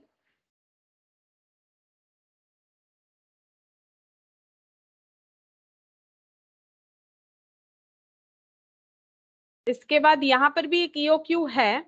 ये टेब्यूलर मेथड है, ठीक है? ये टेब्यूलर मेथड है। देखते, ये भी करवा देंगे। पहले देख लेते सिंपल ईओ क्यू और कुछ बचा है कि नहीं? नहीं, ये तो ईओ क्यू का क्वेश्चन नहीं है। ये भी ईओ क्यू का क्वेश्चन नहीं है। यहाँ पर एक ईओ क्यू है, लेकिन उसके साथ मिनिमम एंड मैक्सिमम लेवल भी है, ठीक है? तो ये टेबुलर मेथड एंड में करते हैं, ठीक है? और एक पीडीएफ है, वहाँ से भी कुछ क्वेश्चन ईओ क्यू का कर लेते हैं, फिर टेबुलर मेथड सीखेंगे, ठीक है? ये अलग थोड़ा सा अलग प्रोसेस से करना होगा हमें। अच्छा अब यहाँ पर देखते हैं। E O Q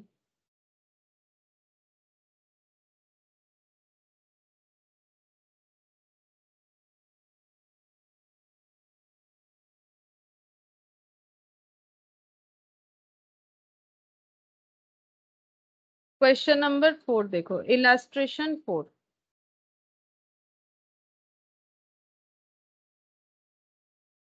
calculate the economic order quantity from the following information also state the number of order to be placed in a हमें यो क्यू कैलकुलेट करना है? और number of order to be placed in a तो यो Q calculate करेंगे? Two into A C ढूंढना है। ये देखो एनुअल कंजम्पन अच्छा ordering placing cost per order ordering cost divided by carrying cost per unit per annum तो carrying cost कितना है? एट परसेंट एवरेज पे ही लगता है। पर ये हो गया पर एनम ठीक है?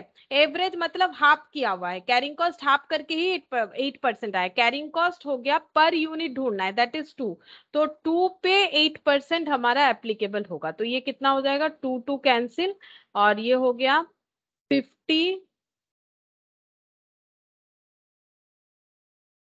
five lakh five lakh divided by eight percent देखते हैं कितना होता है।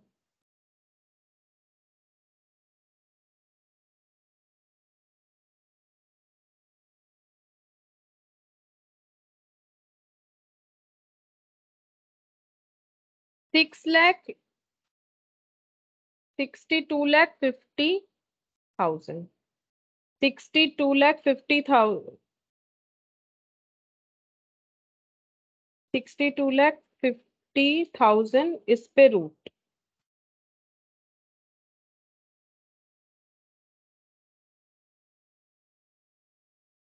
कितना हो जाएगा? Twenty five zero zero two thousand five hundred होना चाहिए. टू थाउज़ेंड फाइव हंड्रेड के जी आंसर के जी में लिखेंगे. यहाँ पर के जी दिया हुआ था. ठीक है? अच्छा अब नेक्स्ट हमें यहाँ पर और भी एक पूछा है कि number of orders to be placed in year number of order कितना ऑर्डर हमें एक साल में करना पड़ेगा? तो एक साल का कंजम्पशन कितना है? Ten thousand kilo. एक बार में हम लोग कितना ऑर्डर करना चाहते हैं?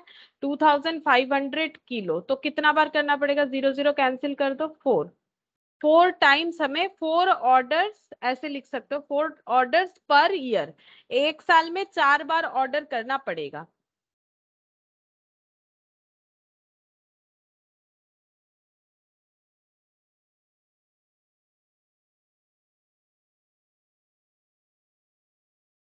ये हो गया फोर्थ नंबर। नेक्स्ट देखते हैं यो क्यू है कि नहीं? हाँ यो क्यू है fifth number compute E O Q and the total cost of the following ठीक है ईओ क्यू कैलकुलेट करके टोटल कॉस्ट जो है, वो भी कैलकुलेट करना है। तो ईओ क्यू पहले कैलकुलेट कर लेते हैं। ईओ क्यू कितना होगा? Two into A C annual consumption ये रहा एनुअल डिमांड ऑर्डरिंग कॉस्ट ये रहा सिक्सटीन ठीक है? Carrying cost per unit per annum storage interest ये सभी कैरिंग कॉस्ट आता है। लास्ट दिन जब हम लोग कैरिंग कॉस्ट का डिटेल्स पढ़ रहे थे मतलब गोडाउन में मेरा रॉ मटेरियल को रखने का जो भी खर्चा होता है इंटरेस्ट रेट मतलब अगर मैंने कुछ खरीदा हुआ है, ठीक है रॉ मटेरियल जो कि मैंने लोन लेके खरीदा हुआ है, ठीक है, जो भी मैंने रॉ मटेरियल खरीदा लोन लिया है तो लोन लेने पर इंटरेस्ट देना पड़ता है तो इंटरेस्ट रेट इसीलिए बेयर कर रहे हैं क्योंकि हम लोग मेटेरियल खरीद के उसे स्टोर करके रख रहे हैं मेटेरियल यूज़ कर रहे हैं तो इंटरेस्ट रेट ये भी हम लोग का कैरिंग कॉस्ट में आ जाएगा क्योंकि ये ऑर्डरिंग कॉस्ट में नहीं आता ये परचेज कॉस्ट में नहीं ये कैरिंग कॉस्ट है। ऑब्सोलेशन रेट का मतलब होता है कि जो प्रोडक्ट खरीद रहा है अगर टेक, टेक्निकल कुछ चीज़ है ठीक है तो वो क्या हो सकता है बैकडेटेड हो सकता है। तो इसके लिए टेक्नोलॉजिकल चेंजेस के वजह से जो लॉस हो जाता है जो रॉ मेटेरियल हम लोगों ने खरीदा था हो सकता है फ्यूचर में उसका यूज़ ना हुआ हो तो वो भी रेट हम लोगों ने एक मान लिया है ठीक है। ये भी रेट हम लोग मान लेते हैं तो टोटल कैरिंग कॉस्ट हो जाता है सबका एडिशन तो कितना हो जाएगा? Six plus two eight eight plus twelve यहाँ पर हो गया ट्वेंटी परसेंट ठीक है? ट्वेंटी परसेंट हो रहा है तो कितना हो जाएगा? ट्वेंटी रुपीज़ का ट्वेंटी परसेंट ट्वेंटी रुपीज़ का ट्वेंटी परसेंट ये हम लोगों का आंसर आना चाहिए, देखते कितना आता है।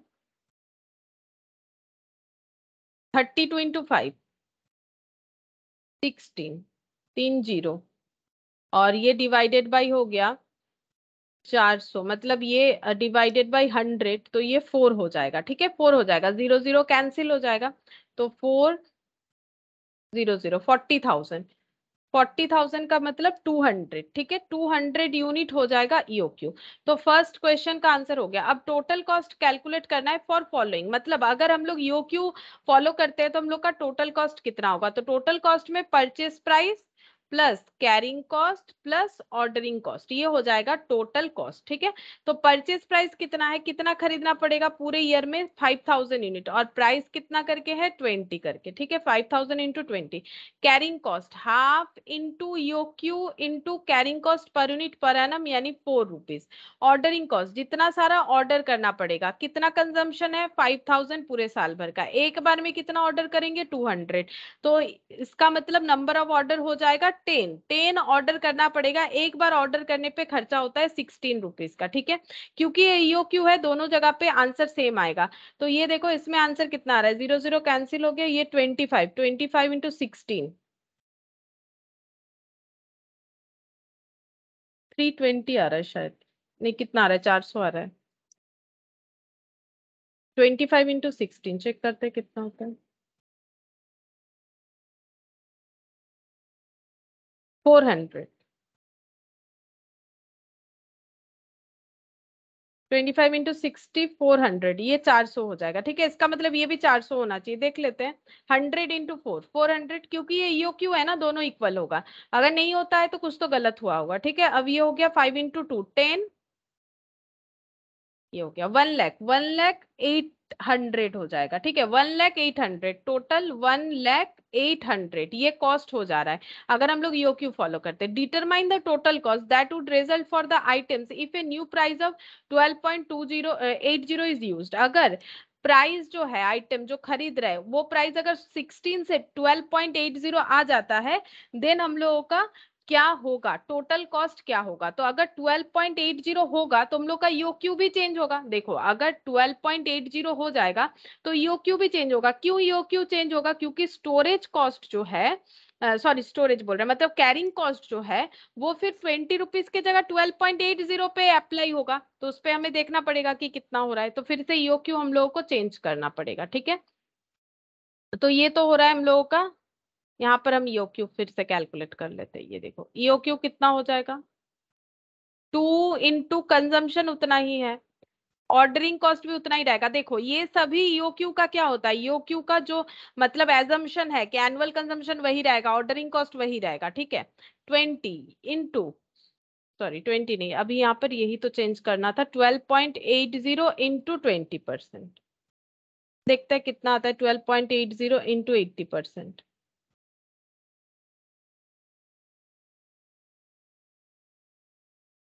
ten point two four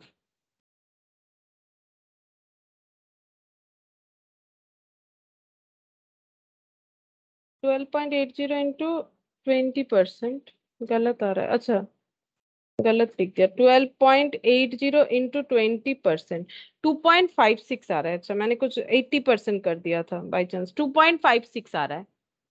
तो ये हो जाएगा one lakh sixty divided by 2.56.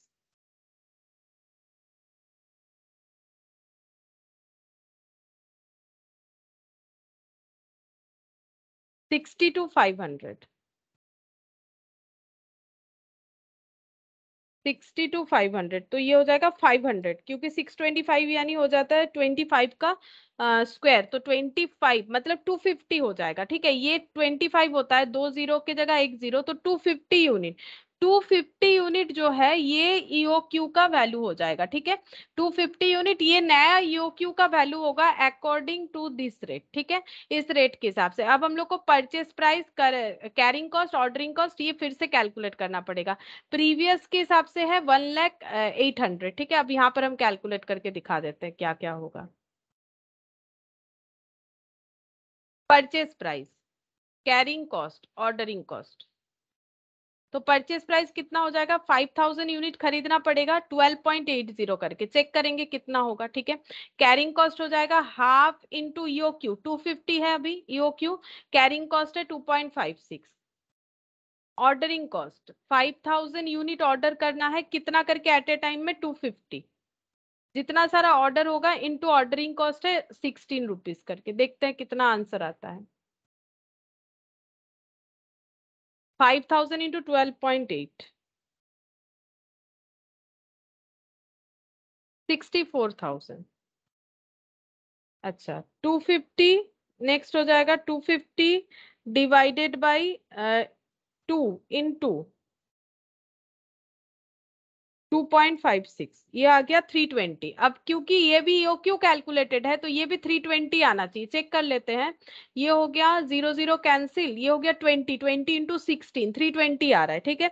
तो 320 ट्वेंटी प्लस 320 प्लस सिक्सटी तो ये आ जा रहा है 64,640 चेक करते हैं 64,640 फोर्टी हो गया ठीक है? तो ये हो जाएगा चेंजेस हमें दो तरह का अलग अलग कैलकुलेट करने बोला था हम लोगों ने कर दिया। बस इसमें कुछ कमेंट वमेंट करने भी नहीं बोला कमेंट करे भी क्यों? यहाँ पर तो कुछ डिस्काउंट नहीं है। अगर इस प्राइस मेटेरियल का प्राइस इतना हो जाता है कम हो जाता है तो खर्चा इतना हो जाएगा ठीक है? देखो सिक्सटीन रुपीज़ जब था सॉरी ट्वेंटी रुपीज़ जब था तब हम लोग का जो भी प्राइस आ रहा था टोटल कॉस्ट आ रहा था वन लैख एट हंड्रेड अगर ये प्राइस डाउन हो जाता है तो हम लोगों का खर्चा कम होगा। क्यों खर्चा कम होगा? क्योंकि कैरिंग कॉस्ट को इफ़ेक्ट करे या, या ना करे ordering cost sorry ordering cost को इफ़ेक्ट नहीं करता कैरिंग कॉस्ट को तो करता है तो ओवरऑल क्या है? चेंजेस तो दिखेगा। देखो ना, यहाँ पर अगर देखोगे तो प्राइस चेंज होने की वजह से क्या क्या चेंज हुआ है? परचेज प्राइस में काफ़ी चेंज दिख रहा है, जहाँ पर ये था हम लोगों का वन लैख ये हुआ है सिक्सटी फोर थाउज़ेंड ठीक है? जहाँ पर कैरिंग कॉस्ट देखो कैरिंग कॉस्ट आया था थ्री ट्वेंटी यहाँ पर फोर हंड्रेड है ना? कैरिंग कॉस्ट और ऑर्डरिंग कॉस्ट थ्री ट्वेंटी और यहाँ पर फोर हंड्रेड ठीक है? तो ये बस अलग अलग दो क्वेश्चन पूछा था।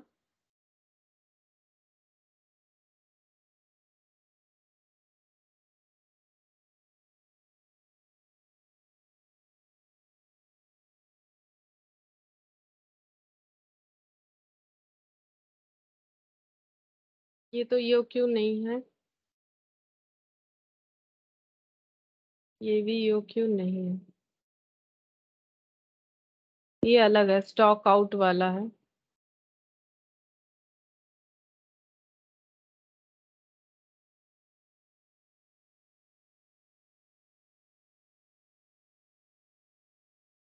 ये भी यो क्यों नहीं है? ये भी नहीं था।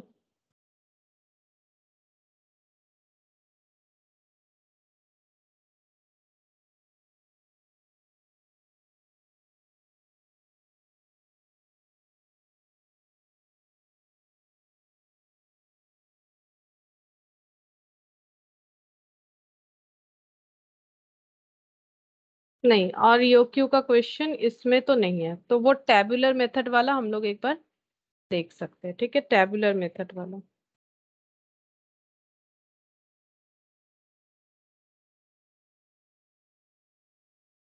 ये देखो यहाँ पर बोला है from the following particular with respect to particular item of a material of a manufacturing company calculate the best quantity to order तो यहाँ पर देखो ऑर्डरिंग क्वांटिटी क्या दिया है? Less than 250, 250 but less than 800, 800 but less than 2000.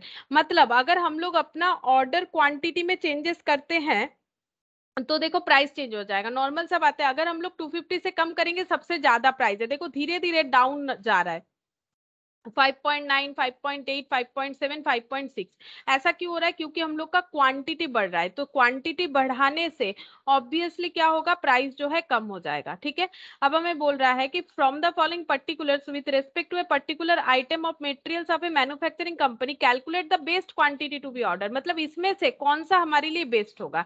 Annual demand है four ton stock uh, holding cost is 20% of material cost per annum the delivery cost per order. मतलब delivery cost मतलब ordering cost ठीक है? Delivery cost बोल रहा है six rupees करके ठीक है? Delivery cost बोल रहा है सिक्स रुपीज़ करके। हम लोग को कैलकुलेट करके बताना है कि कौन सा सबसे सही रहेगा।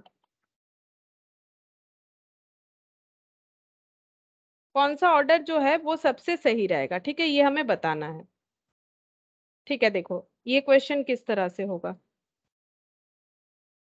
हम लोग को पहले देखना पड़ेगा कि हम लोगों को देखो कितना सारा क्वांटिटी दे रखा है तो हम लोगों को ये सारे क्वांटिटी पे चेक करना पड़ेगा, ठीक है? अगर हम लोग इतना ऑर्डर करते हैं, देखो, जैसे यहाँ पर बोल रखा है 250 से 250 बट लेस देन 800 मतलब 250 से लेके 799 लेस देन 800 बोला है ना? तो इसके अंदर अगर हम लोग ऑर्डर करते हैं तो हम लोग का 5.90 इस तरह से रेट बता रखा है, ठीक है? तो ये जो है, इसको बोलते हैं टेबुलर मेथड क्यों? क्योंकि इसमें बहुत सारी क्वांटिटी है तो हम इसे टेबल फॉर्मेट में बनाना पड़ेगा। तो यहाँ पर भी हम लोग क्या करेंगे, यहाँ पर भी हम लोग कौन सा सबसे बेस्ट रहेगा उसके लिए हम लोग को चेक करना पड़ेगा कि टोटल कॉस्ट कितना है। टोटल कॉस्ट मतलब फिर से वही, purchase cost, carrying cost, ordering cost, ये सब पे हमें कैलकुलेट करना पड़ेगा, ठीक है? और एनुअल डिमांड फोर ये फिक्स्ड है। अगर फोर ही हमें पूरे साल में चाहिए, होल्डिंग कॉस्ट इतना है, डिलीवरी कॉस्ट इतना है तो इस पे हिसाब से क्या होगा? तो देखो कैसे करके हम लोग कर सकते हैं।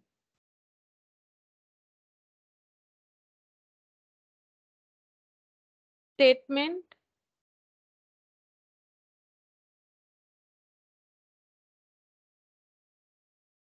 showing computation of total inventory cost at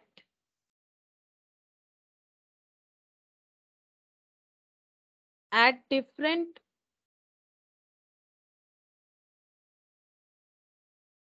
order size annual consumption fixed है फोर थाउज़ेंड यूनिट ठीक है? अच्छा अब हम लोग को कितने सारे कॉलम बनाने पड़ेंगे? टेबुलर मेथड होता है, जब इतना सारा हमें अलग अलग ऑर्डर का डेटा दिया हुआ रहता है तो देखो, एक हो जाएगा, एक, दो, तीन, चार, पाँच पाँच कॉलम हम लोग का हो जाना चाहिए, ठीक है? पाँच कॉलम ऑर्डर साइज़ का।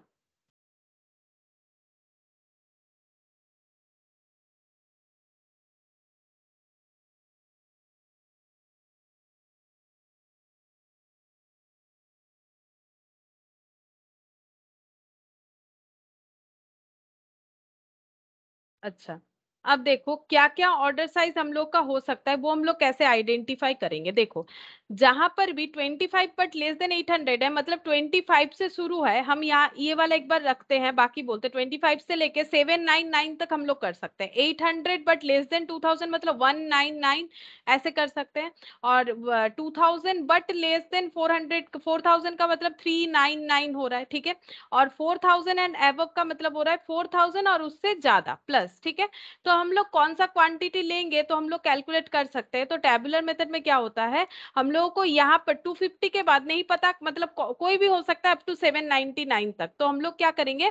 जो लेस क्वांटिटी है वही लेंगे ठीक है ये वाला। जैसे कि 250 800 2000 ये वाला क्वांटिटी से हम लोग कैलकुलेट करेंगे। तो क्या क्या होगा हम लोगों का? ये देखो पहले यहाँ पर लिखेंगे एक जगह छोड़ देते हैं पहले वाले के लिए ठीक है फिर 250 ऑर्डरिंग क्वांटिटी 800 हमेशा ऐसा ही लेना पड़ेगा। जो भी हमें रेंज दिया हुआ है जैसे ये एक रेंज है ना तो हमें हमेशा शॉर्टर वाला लेना है। 250 800 2000 और 4000 ठीक है? और एक भी रहेगा। ये वाला, इसमें क्या करें? इसमें दिया है लेस देन 250 250 से कम मतलब ज़ीरो से लेके 249 तक है है ना? लेस देन 250 मतलब ज़ीरो से लेके 249 पॉइंट समथिंग भी हो सकता है तो 249 तक। तो हमें यहाँ पर कितना अमाउंट लेना चाहिए? हम लोग यहाँ पर ज़ीरो से लेके 249 के अंदर कोई भी अमाउंट ले सकते हैं, हम लोग का आंसर सेम ही आएगा। उसमें कोई प्रॉब्लम नहीं होगा, क्योंकि एग्जैक्टली exactly यहाँ पर हमें नहीं पता चल रहा है, बाकी सब में पता चल रहा है, ठीक है? यहाँ पर कोई जो लोअर लिमिट है, वो हमारा मिसिंग है डायरेक्टली मिसिंग है, ठीक है? तो हम लोग क्या ले सकते हैं? कोई भी राउंड फिगर ऐसा लो, जो कि डिविजिबल होगा इजिली और पॉइंट में आंसर नहीं लाएगा, ठीक है? तो हम लोग इसको 200 ले लेते हैं। अब यहाँ पर 200 मैंने लिया है, क्योंकि 200 से ही सॉल्व किया हुआ है हम लोग का क्वेश्चन तुम लोग कुछ और भी लोगे लेकिन रेंज क्या होना चाहिए? 250 के अंडर तो तुम लोग का आंसर जो है मतलब जो मतलब ओवरऑल कंक्लूजन सेम आएगा। भले ही इस कॉलम में टोटल अमाउंट कम या ज़्यादा आए, जो भी अभी 200 से करेंगे, मान लो कोई 100 से कर रहा है तो उसमें आंसर वेरी करेगा यहाँ पर इंडिविजुअली बट ओवरऑल आंसर में कोई वेरी नहीं करेगा। मतलब कमेंट जो है, वो एज इट इज़ उतना ही होगा जितना टू लेने से होता है और वन लेने से होता है। तो सबसे पहले हम लोग अप्लाई करेंगे यहाँ पर परचेजिंग कॉस्ट देखते हैं परचेजिंग कॉस्ट कितना होगा। परचेसिंग कॉस्ट कितना हो जाएगा? एनुअल कंजम्पशन जो भी होता है into purchase price annual consumption four thousand into six ठीक है? क्योंकि पहले वाले का सिक्स रुपीज़ है। फोर थाउज़ेंड इंटू सिक्स यहाँ पर लिख देते हैं। ट्वेंटी फोर थाउज़ेंड ठीक है? उसके बाद फोर थाउज़ेंड इंटू ये रेट अलग है, ठीक है? फोर थाउज़ेंड इंटू इसमें हो जाएगा फाइव पॉइंट नाइन चेक करेंगे कितना हो रहा है। उसके बाद four thousand into five point eight basically ten पैसा करके कम हो जा रहा है। Four thousand into five point seven four thousand into five point six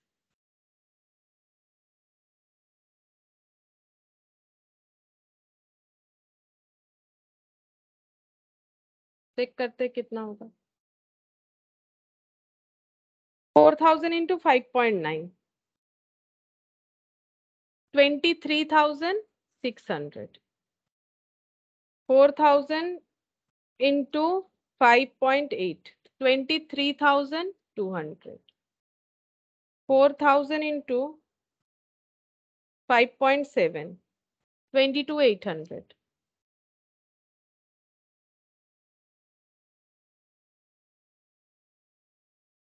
twenty two four hundred ठीक है ये आ जा रहा है purchase price twenty four thousand twenty three six hundred twenty three two hundred twenty two eight hundred और twenty two four hundred ठीक है? अब हम लोग चेक करेंगे कि ऑर्डरिंग कॉस्ट कितना हो जाएगा। तो उसके लिए क्या क्या चाहिए? हमें नंबर ऑफ़ ऑर्डर हम लोग अलग अलग करके दिखा सकते हैं, ठीक है? नंबर ऑफ़ ऑर्डर कितना बार ऑर्डर करना पड़ेगा? अगर हम लोग ये साइज़ के हिसाब से चलते हैं, हम लोग का नंबर ऑफ़ ऑर्डर कितना हो जाएगा? एनुअल कंजम्पशन फोर थाउज़ेंड है, ठीक है? कैसे होगा? Annual consumption divided by ordering quantity ordering quantity, ठीक है? तो एनुअल कंजम्पशन कितना है? Four thousand four thousand by two hundred कितना हो जाएगा? ट्वेंटी ठीक है? Four thousand by two fifty तो ये हो जाएगा sixteen four thousand by two fifty check करते हैं।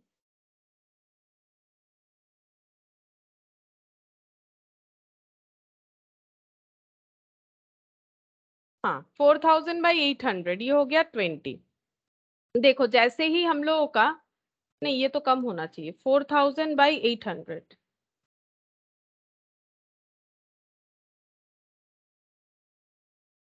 five देखो, जैसे ही हम लोगों का ऑर्डर क्वांटिटी बढ़ जा रहा है। देखो, नंबर ऑफ़ ऑर्डर भी कम हो जा रहा है। 200 करके कर रहे थे 20 टाइम्स करना पड़ रहा था। 250 पे थोड़ा कम 16 हो गया 800 पे 5 और अगर हम लोग 2000 करके लेंगे तो टू टाइम्स, ठीक है? और अगर हम लोग 4000 लेंगे तो वन टाइम एक ही बार में पूरा ऑर्डर जो है हम लोगों को मिल जाएगा। बार बार ऑर्डर नहीं करना पड़ेगा तो ऑर्डरिंग कॉस्ट इसमें बच जाएगा, ठीक है?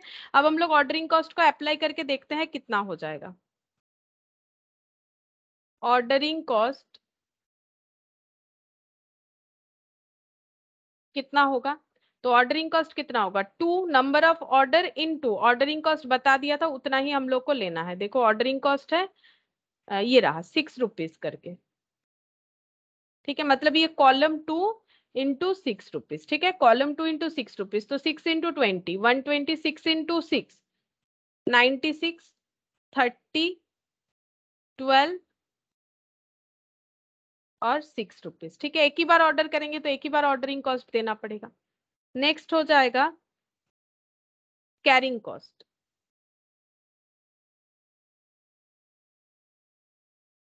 कैरिंग कॉस्ट कितना होगा? कैरिंग कॉस्ट हो जाएगा half into E O Q into carrying cost per unit per order carrying cost है twenty percent twenty percent of six twenty percent of five point nine इस तरह से होना चाहिए, ठीक है?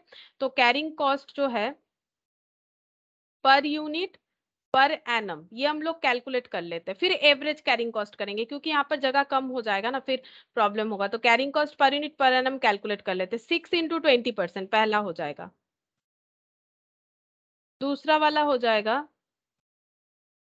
five point nine into twenty percent अगर तुम लोग के कॉपी में जगह रख पा रहे हो तो एक बार में भी कर सकते हो। Five point nine into twenty percent five point eight into twenty percent, ठीक है? और फाइव पॉइंट सेवन, ये रहा, दिख रहा है मुझे, five point seven into twenty percent और five point six into twenty percent.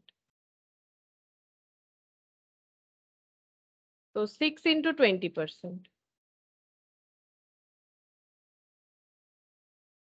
One point two. Five point nine into twenty percent. 1.18 5.8 into 20 percent. 1.16 5.7 into 20 percent. 1.14 5.6 into 20 percent. 1.12 ठीक है?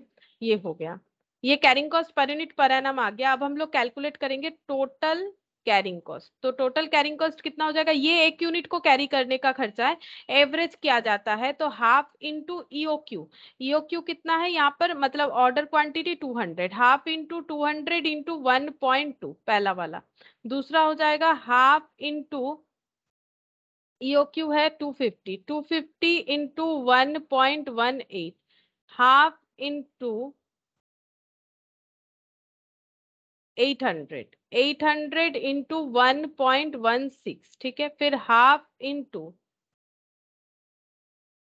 two thousand two thousand into one point one six, फिर half into four thousand था last वाला into one point one two.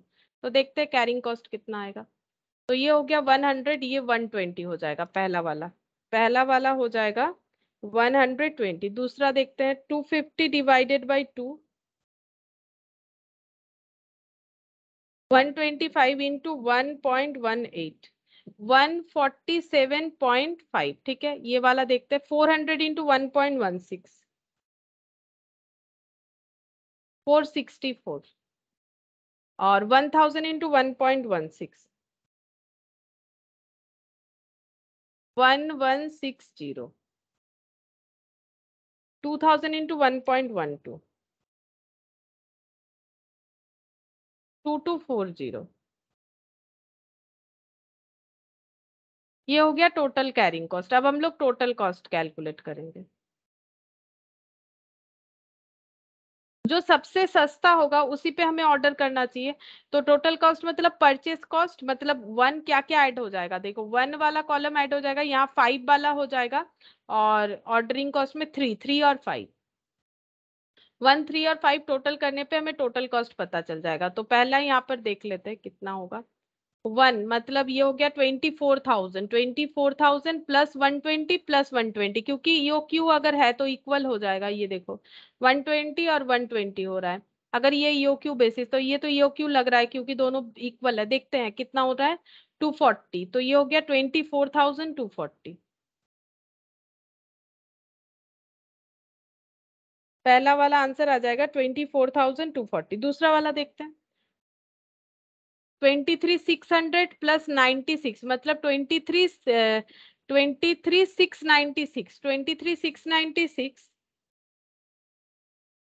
plus one forty seven point five तो ये हो जाएगा twenty three eight forty three point five.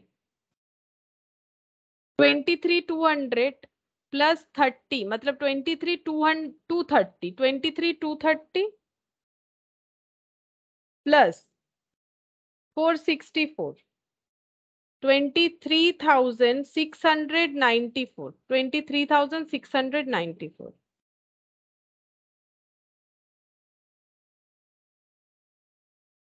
अच्छा इसके बाद one one six zero one one six zero plus twelve twenty two thousand eight hundred plus twelve plus one one six zero twenty three thousand nine hundred seventy two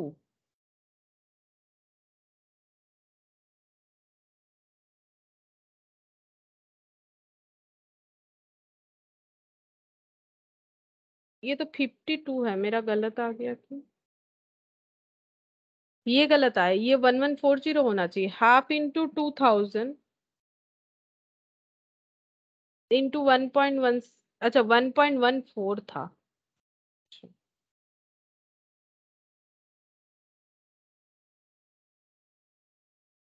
one one four zero होगा, ठीक है? तो ये twenty rupees ज़्यादा यहाँ पर one one four zero हो गया। तो अब चेक करते हैं twenty two thousand eight hundred twelve plus one one four zero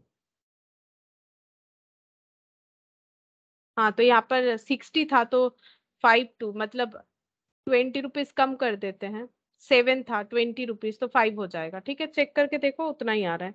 Twenty two thousand four hundred plus यहाँ पर ये सिक्स रुपीज़ सिक्स रुपीज़ और यहाँ पर two two four zero, two two four six कर देते हैं। Twenty four six forty six ठीक है, ये हो गया। अब हमें ये कमेंट करना है कि सबसे जो चीपेस्ट है वो कौन सा हो रहा है? सबसे कम twenty four thousand twenty three twenty three twenty three तो ट्वेंटी फोर वाला तो कैंसिल ट्वेंटी थ्री देखते हैं। Eight forty three six ninety four ये वाला मतलब आठ सौ, ठीक है? एट हंड्रेड यूनिट पे अगर हम लोग ऑर्डर करेंगे तो सबसे सस्ता में होगा, ठीक है? सबसे चीपेस्ट यही वाला कॉस्ट हो रहा है टोटल तो यहाँ पर हम लोग लिखेंगे for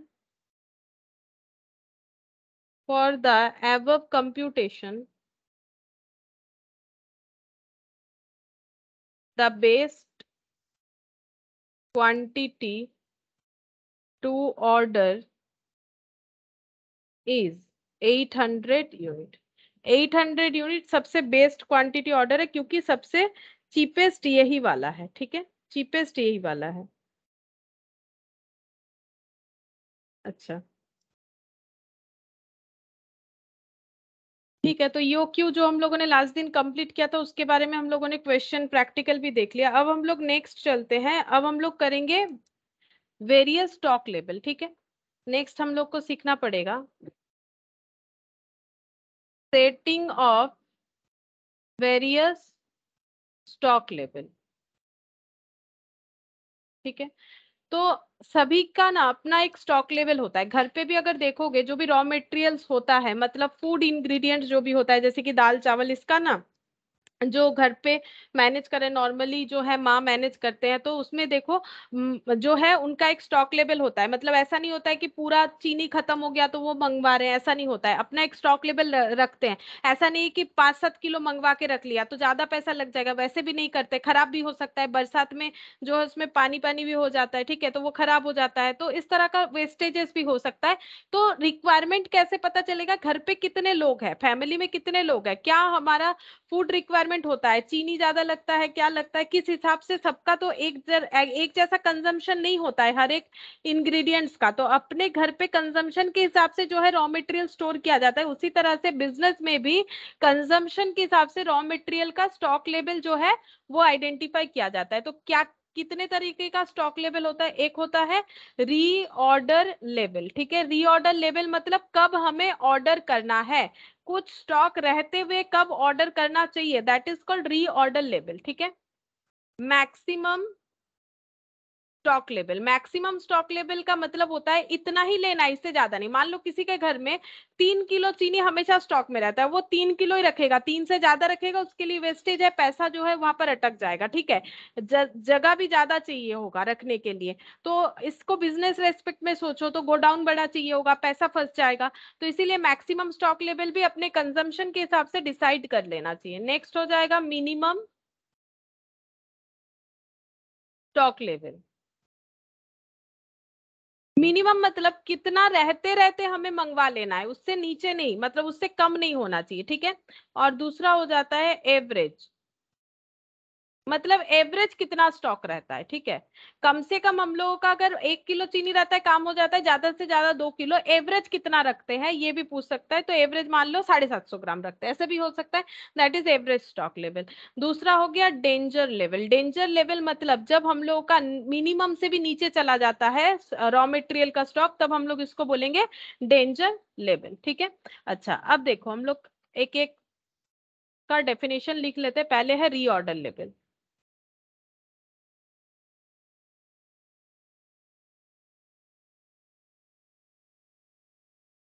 रीऑर्डर लेवल का मतलब है।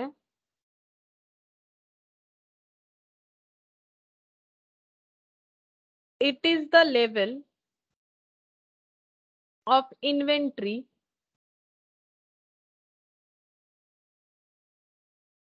in the store at which and ordered should be placed with supplier ठीक है? मतलब स्टोर में कितना क्वांटिटी रहते रहते ही हम लोग ऑर्डर करना स्टार्ट कर देते हैं, इसको हम लोग बोलते हैं री ऑर्डर लेवल ठीक है? री ऑर्डर लेवल बोलते हैं। अब री ऑर्डर लेवल का फॉर्मूला क्या होता है? क्योंकि यहाँ पर फॉर्मूला बेस्ड है, ये पॉइंट तो फॉर्मूला याद करना पड़ेगा हमें। री ऑर्डर लेवल ठीक है? इसको हम लोग बोलेंगे R O L R O L क्या हो जाता है? Maximum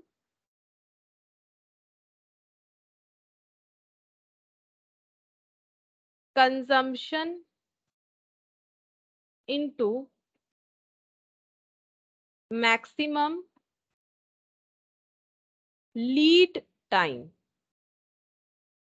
ठीक है? Maximum consumption into maximum lead time इसका मतलब होता है कि इसको हम लोग शॉर्टकट में लिख लेंगे, ठीक है? ये हम लिखवा देते हैं क्योंकि इससे क्या होता है, हम लोग जल्दी जल्दी याद कर सकते हैं। R O L equal to इसका शॉर्टकट है मैक्स यूटी ठीक है? मैक्स यूटी यू मतलब यूसेज हर जगह पे यू मतलब हो जाएगा यूसेज टी मतलब हो जाएगा लीड टाइम ठीक है? टी मतलब हो जाएगा लीड टाइम ये शॉर्टकट है याद रखने के लिए।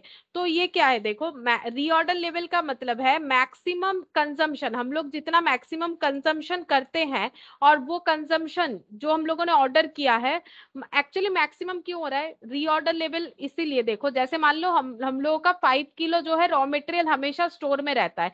अब यूज़ होने से ये जो है, इसका लेवल कम होते जाएगा, ठीक है? और हम लोगों ने सोच रखा है, जब भी तीन किलो में रॉ मेटेरियल पहुंचेगा तो हम लोग फर्दर ऑर्डर कर देंगे, ठीक है? फर्दर ऑर्डर करेंगे।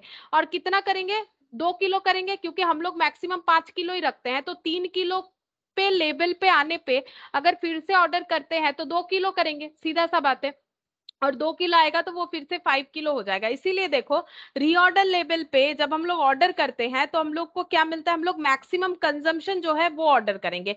कि मैक्सिमम कंजम्पशन के हिसाब से हम लोग ऑर्डर करेंगे तो मैक्सिमम कंजम्पशन इनटू मतलब एक दिन में हमें कितना चाहिए? मैक्सिमम कंजम्पशन का मतलब होता है कि हमें एक दिन में कितना चाहिए तो उस हिसाब से हम लोग दो किलो बना लेंगे। ठीक है, जैसे मान लो पर डे अगर हमें वन किलो करके चाहिए इस तरह से, और मैक्सिमम लीड टाइम मतलब कितना टाइम लग सकता है हमारे पास ये स्टॉक आने में? मान लो मैक्सिमम लीड टाइम लगता है टू डेज़, दो दिन में आ जाएगा। लीड टाइम का मतलब है कितना दिन लगता है, ठीक है? तो मान लो मैक्सिमम दो दिन, मिनिमम जो है जिस दिन ऑर्डर किया उस दिन ही आ गया, ठीक है? मतलब सेम डे से लेके दो दिन तो maximum two days, minimum zero days मतलब जिस दिन ऑर्डर किया उसी दिन आ जाएगा। अगर ऐसा होता है, हम लोगों का एक एक दिन में कंजम्पशन अगर वन किलो का है रॉ मेटेरियल का। तो देखो, एक किलो कंजम्पशन है एक दिन में, दो दिन में मैक्सिमम आ जाएगा तो दो किलो हमारे पास पहुँच जाएगा और दो किलो आ जाएगा तो ये टोटल होके पाँच किलो में पहुँच जाएगा, जो हम लोगों का मैक्सिमम लेवल होगा, ठीक है? मैक्सिमम कंजम्पशन लेवल इसीलिए फॉर्मूला ऐसे बना हुआ है maximum consumption into maximum lead time ठीक है? M U T max U T इस तरह से याद रखना पड़ेगा। नेक्स्ट हम लोग पढ़ेंगे minimum stock level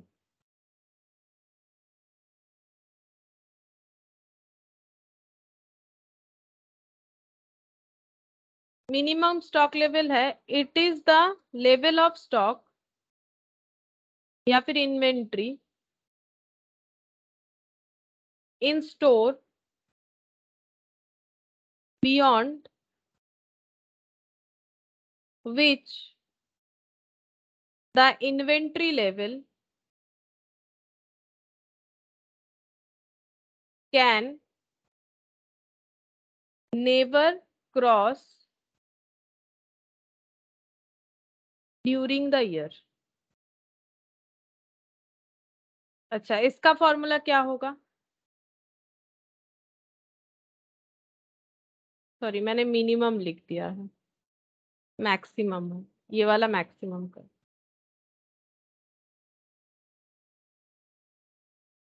It is the level of inventory in store beyond which the inventory level can never cross during the year. मतलब पाँच किलो अगर मेरा maximum level है उससे ज़्यादा नहीं जाना चाहिए ठीक है तो मैक्स स्टॉक लेवल का फॉर्मूला क्या हो जाएगा? Max stock level equal to R O L reorder level plus R O Q bracket में ईओ क्यू ईओक्यू का मतलब अभी अभी हम लोगों ने देखा इकोनॉमिक ऑर्डर क्वांटिटी जिसको हम लोग बोलते हैं रीऑर्डर क्वांटिटी मतलब जिस लेवल पे मुझे ऑर्डर करना है, जैसे तीन किलो रॉ मटेरियल रहेगा, तभी मुझे ऑर्डर करना है। कितना करना है? Two kilo. जैसे मैंने अभी यहाँ पर आइडेंटिफाई किया तो टू किलो क्या हो गया? ये टू किलो जो है, ये मेरा ऑर्डर क्वांटिटी है। और मैंने किस हिसाब से किया? जितना मेरा कंजम्पशन है। तो ये सपोज़ हमें जो भी करना है यो क्यू के हिसाब से करना है। क्यों? यो क्यू के हिसाब से करने से हमें चीपेस्ट में मिल जाएगा। तो जिस लेवल पे हम लोगों ने ऑर्डर किया प्लस जितना क्वांटिटी में ऑर्डर किया माइनस कर देंगे mean consumption into minimum lead time ऐसा क्यों देखो? जब हम लोग ऑर्डर कर रहे हैं, तीन किलो जब रॉ मेटेरियल है, तब ऑर्डर कर रहे हैं। हम लोग कितना ऑर्डर कर रहे हैं? टोटल दो किलो। तो पाँच किलो हमारे पास आ जाएगा, जो हम लोग का मैक्सिमम स्टॉक लेवल होगा। लेकिन जब हम लोग प्रोसेस में है ऑर्डर हमारे पास आएगा, तब हम लोग का क्या होगा? कंजम्पशन तो होता जाएगा। ऐसा तो नहीं कि काम बंद हो जा रहा है। तो इसका मतलब माइनस हम लोग कर देते हैं मिनिमम कंजम्पशन यानी मिनिमम इसमें कितना कंजम्पशन हो सकता है, उस हिसाब से हमें ऑर्डर करना चाहिए, ठीक है? मिनिमम जो कंजम्पशन चलता जाएगा, उस वजह से तो लेवल स्टॉक ऑफ़ लेवल तीन किलो से कम होते जाएगा ना। अगर दो दिन बाद आके पहुंचेगा, तीन किलो जब लेवल आया, स्टॉक लेवल तब मैंने ऑर्डर ज़रूर किया है। लेकिन ऑर्डर अगर दो दिन बाद पहुंचेगा तो दो दिन में कंजम्पशन भी तो होगा। तो वही चीज़ यहाँ पर माइनस करके बोला है। उस हिसाब से हमें ऑर्डर क्वांटिटी आइडेंटिफाई करना चाहिए और रीऑर्डर लेवल को भी आइडेंटिफाई करना चाहिए, ताकि जब हम लोग का ऑर्डर प्रोसेसिंग में है, ऑर्डर अभी तक नहीं पहुँचा है तो उस मीड में उस दौरान जो भी हम लोगों का कंजम्पशन होगा, वो कम होते जाता है, स्टॉक लेवल को और भी कम करते जाता है। इसीलिए रीऑर्डर लेवल भी सोच के आइडेंटिफाई करना चाहिए और रीऑर्डर क्वांटिटी भी उसी तरह से हमें आइडेंटिफाई करना पड़ेगा, ठीक है? तो इसका हम लोग शॉर्टकट ऐसे बोल सकते हैं। अच्छा शॉर्टकट तो मैंने बोल ही दिया, ठीक है? शॉर्टकट मैंने ये, यहाँ पर शॉर्टकट बस यही वाला होगा। मीन यूटी ठीक है? मीन यूटी इसको अगर शॉर्टकट में याद रखना चाहते हैं तो ये वाला ऐसा हो जाएगा। मीन यूटी ठीक है? मीन यूटी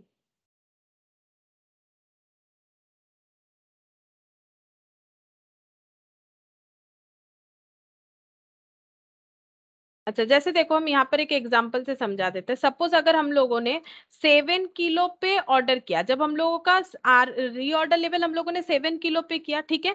अच्छा हम लोगों का मैक्सिमम जो स्टॉक लेवल वो फिफ्टीन किलो रहता है फॉर एग्ज़ाम्पल ठीक है?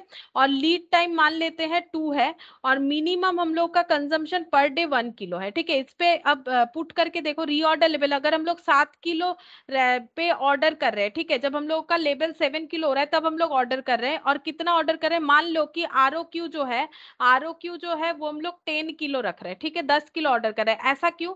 तब तो सत्रह किलो हो जा रहा है ना, हम लोग का मैक्सिमम पंद्रह किलो है। अगर हम लोग सेवन किलो रहते रहते ऑर्डर करते हैं, दस किलो ऑर्डर करते हैं तो वो सेवनटीन किलो होता है। बट मैक्सिमम लेवल तो फिफ्टीन के है तो ये तो ज़्यादा हो जा रहा है। नहीं होगा, क्योंकि जब दो दिन के अंदर ऑर्डर आके पहुंचेगा, तब कंजम्पशन भी हो रहा है। कंजम्पशन कितना हो रहा है? जो हम लोग देखेंगे कि मिनिमम कितना कंजम्पशन हो सकता है पर डे का। तो मान लेते हैं पर डे में कंजम्पशन होता है एक किलो, ठीक है? मिनिमम एक किलो कंजम्पशन होता है और दो दिन मैक्सिमम लग सकता है चीज़ को पहुँचने में। तो ये हो गया सेवनटीन किलो अगर पहुँच जाता है, लेकिन इस मिड में, इस मिडिल में दो किलो का कंजम्पशन हो जाएगा तो देखो 15 किलो ही बचेगा 15 किलो ही मैक्सिमम लेवल जो है ये हमारा रह जाएगा। हम लोग ज़्यादा ऑर्डर नहीं कर रहे तो हम लोगों को ये चीज़ भी ध्यान में रखना पड़ेगा, ठीक है? ये वाला हो गया मैक्सिमम लेवल अच्छा नेक्स्ट हम लोग करेंगे minimum level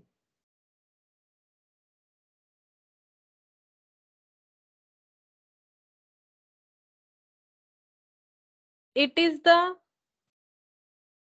ideal inventory level at which the ordered material should be.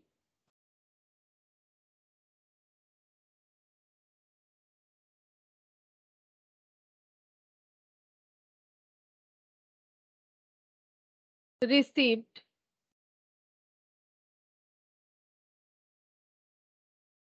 Otherwise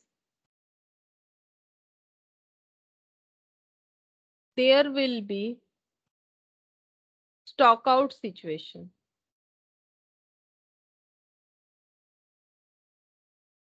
formula भी लिखवा देते, फिर समझाते हैं। Mean level. Mean level equal to R O L मतलब reorder level minus normal consumption. Normal consumption.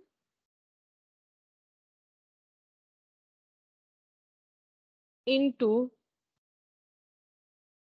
normal lead time R O L minus normal U T shortcut ठीक है? Normal U T अच्छा अब देखो। ये क्या बोल रहा है? यहाँ पर बोल रहा है मिनिमम लेवल ठीक है? मतलब मिनिमम कितना तक हम लोग कर सकते हैं? तो it is the ideal inventory level at which the ordered material should be receive मतलब मान लो हम लोग का मिनिमम लेवल है टू किलो तो टू किलो रहते रहते ही हम लोग का जो ऑर्डर्ड मेटेरियल है वो पहुँच जाना चाहिए। अदरवाइज़ स्टॉकआउट सिचुएशन हो सकता है। ऑब्वियसली स्टॉकआउट सिचुएशन हो ही सकता है कि हम लोगों का जो है स्टॉक मतलब मिनिमम से भी नीचे चला गया देन डेंजर लेवल हो जाएगा देन स्टॉक आउट सिचुएशन भी हो सकता है, ठीक है? अच्छा अब देखो, जैसे हम लोगों का मान लो मिनिमम लेवल जैसे मान लो हम लोगों ने मैक्सिमम देखा था मैक्सिमम मैंने एक एग्जांपल लिया ना 15 केजी होना चाहिए, ठीक है? सेवन केजी पे हम लोग ऑर्डर करते हैं दैट इज़ आर हो गया, ठीक है? और जो मिनिमम है मिनिमम जो है, ये हम लोगों का होना चाहिए। फॉर एग्ज़ाम्पल हम लोग ले लेते हैं टू किलो, ठीक है? टू किलो होना चाहिए। तो अगर दो किलो हम लोगों का मिनिमम लेवल हम लोग मेंटेन कर सकते हैं तो इससे नीचे हमारा नहीं जाना चाहिए। तो अगर हम लोग सेवन के जी ऑर्डर कर रहे हैं, ठीक है? सेवन के जी ऑर्डर कर रहे हैं और हम लोगों का रीऑर्डर लेवल है सेवन के जी और नॉर्मल कंजम्पशन जो है, वो पर डे वन किलो का है। और अगर हम लोगों का जो स्टॉक है, वो पहुँचने में, मान लो दो दिन लगेगा, ठीक है? दो दिन लगेगा। ये minimum stock level five kilo कर देते, ठीक है?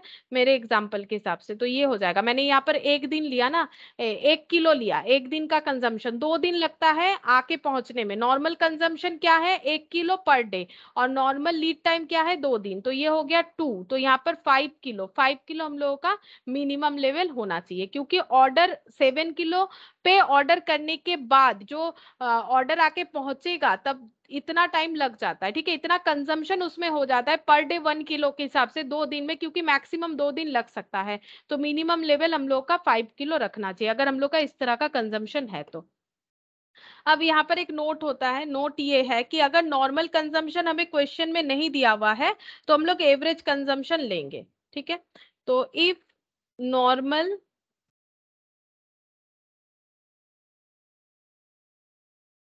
consumption and normal lead time ठीक है? ये अगर हमारे पास नहीं है are not given in question then average consumption and average lead time is taken अच्छा अब एवरेज कैसे निकालेंगे? एवरेज कंजम्पशन कैसे हो जाएगा? एवरेज कंजम्पशन इक्वल टू किसी भी चीज़ का एवरेज क्या हो जाता है? Maximum consumption maximum consumption plus minimum consumption divided by two ये हो जाएगा एवरेज कंजम्पशन और एवरेज लीड टाइम क्या हो जाएगा? एवरेज लीड टाइम तो मिनिमम कितना दिन लग सकता है? ऑर्डर को रिसीव होने में और maximum mean plus max mean plus max किस चीज़ का? लीड टाइम ठीक है? Mean plus max lead time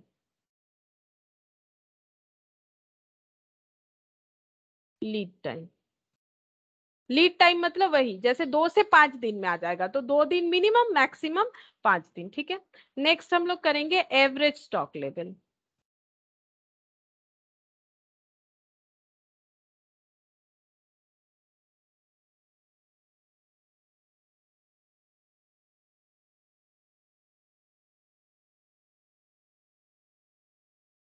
it is the level of inventory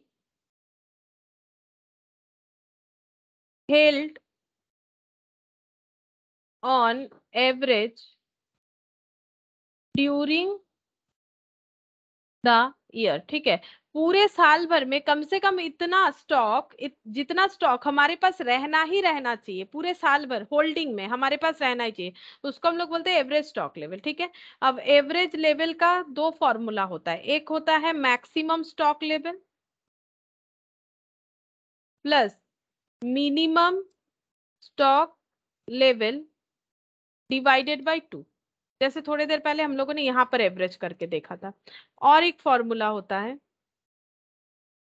Average level equal to minimum level plus half into EO Q और R O Q ठीक है? ये हो जाता है, एवरेज लेवल। तो कौन सा फॉर्मूला कब यूज़ करना है, वो डिपेंड करेगा कि हम लोग अगर जिन लोगों को लिख के करना है, उन लोग को क्या करना है, पूरा का पूरा ही दिखा देना है, दोनों ही दिखा देना है, दोनों फॉर्मूला से आंसर कर देना है। जिनको एमसीक्यू करना है, दोनों से यूज़ करके देखो, जो आंसर रहेगा एमसीक्यू में, उस पर टिक कर दो। Next danger level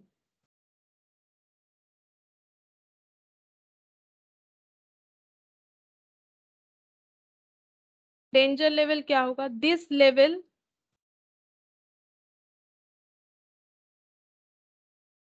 should be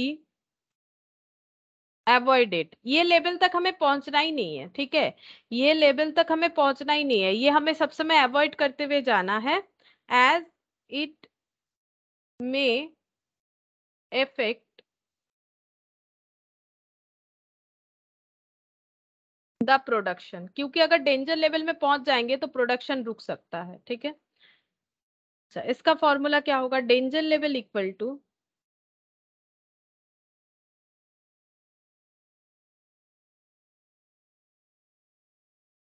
normal consumption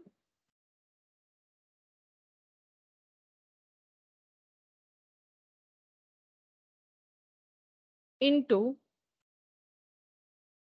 delivery period for emergency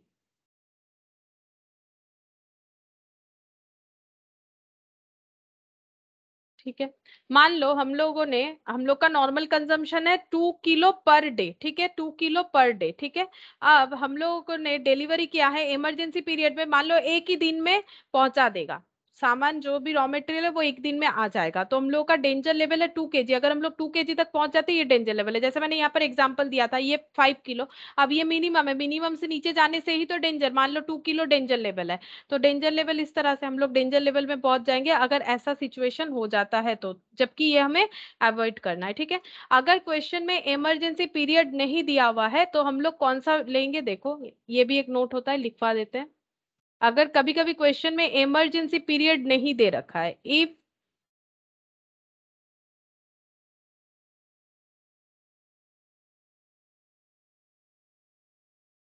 emergency period is not known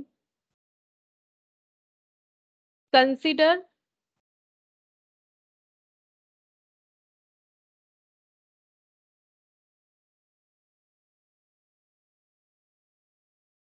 minimum lead time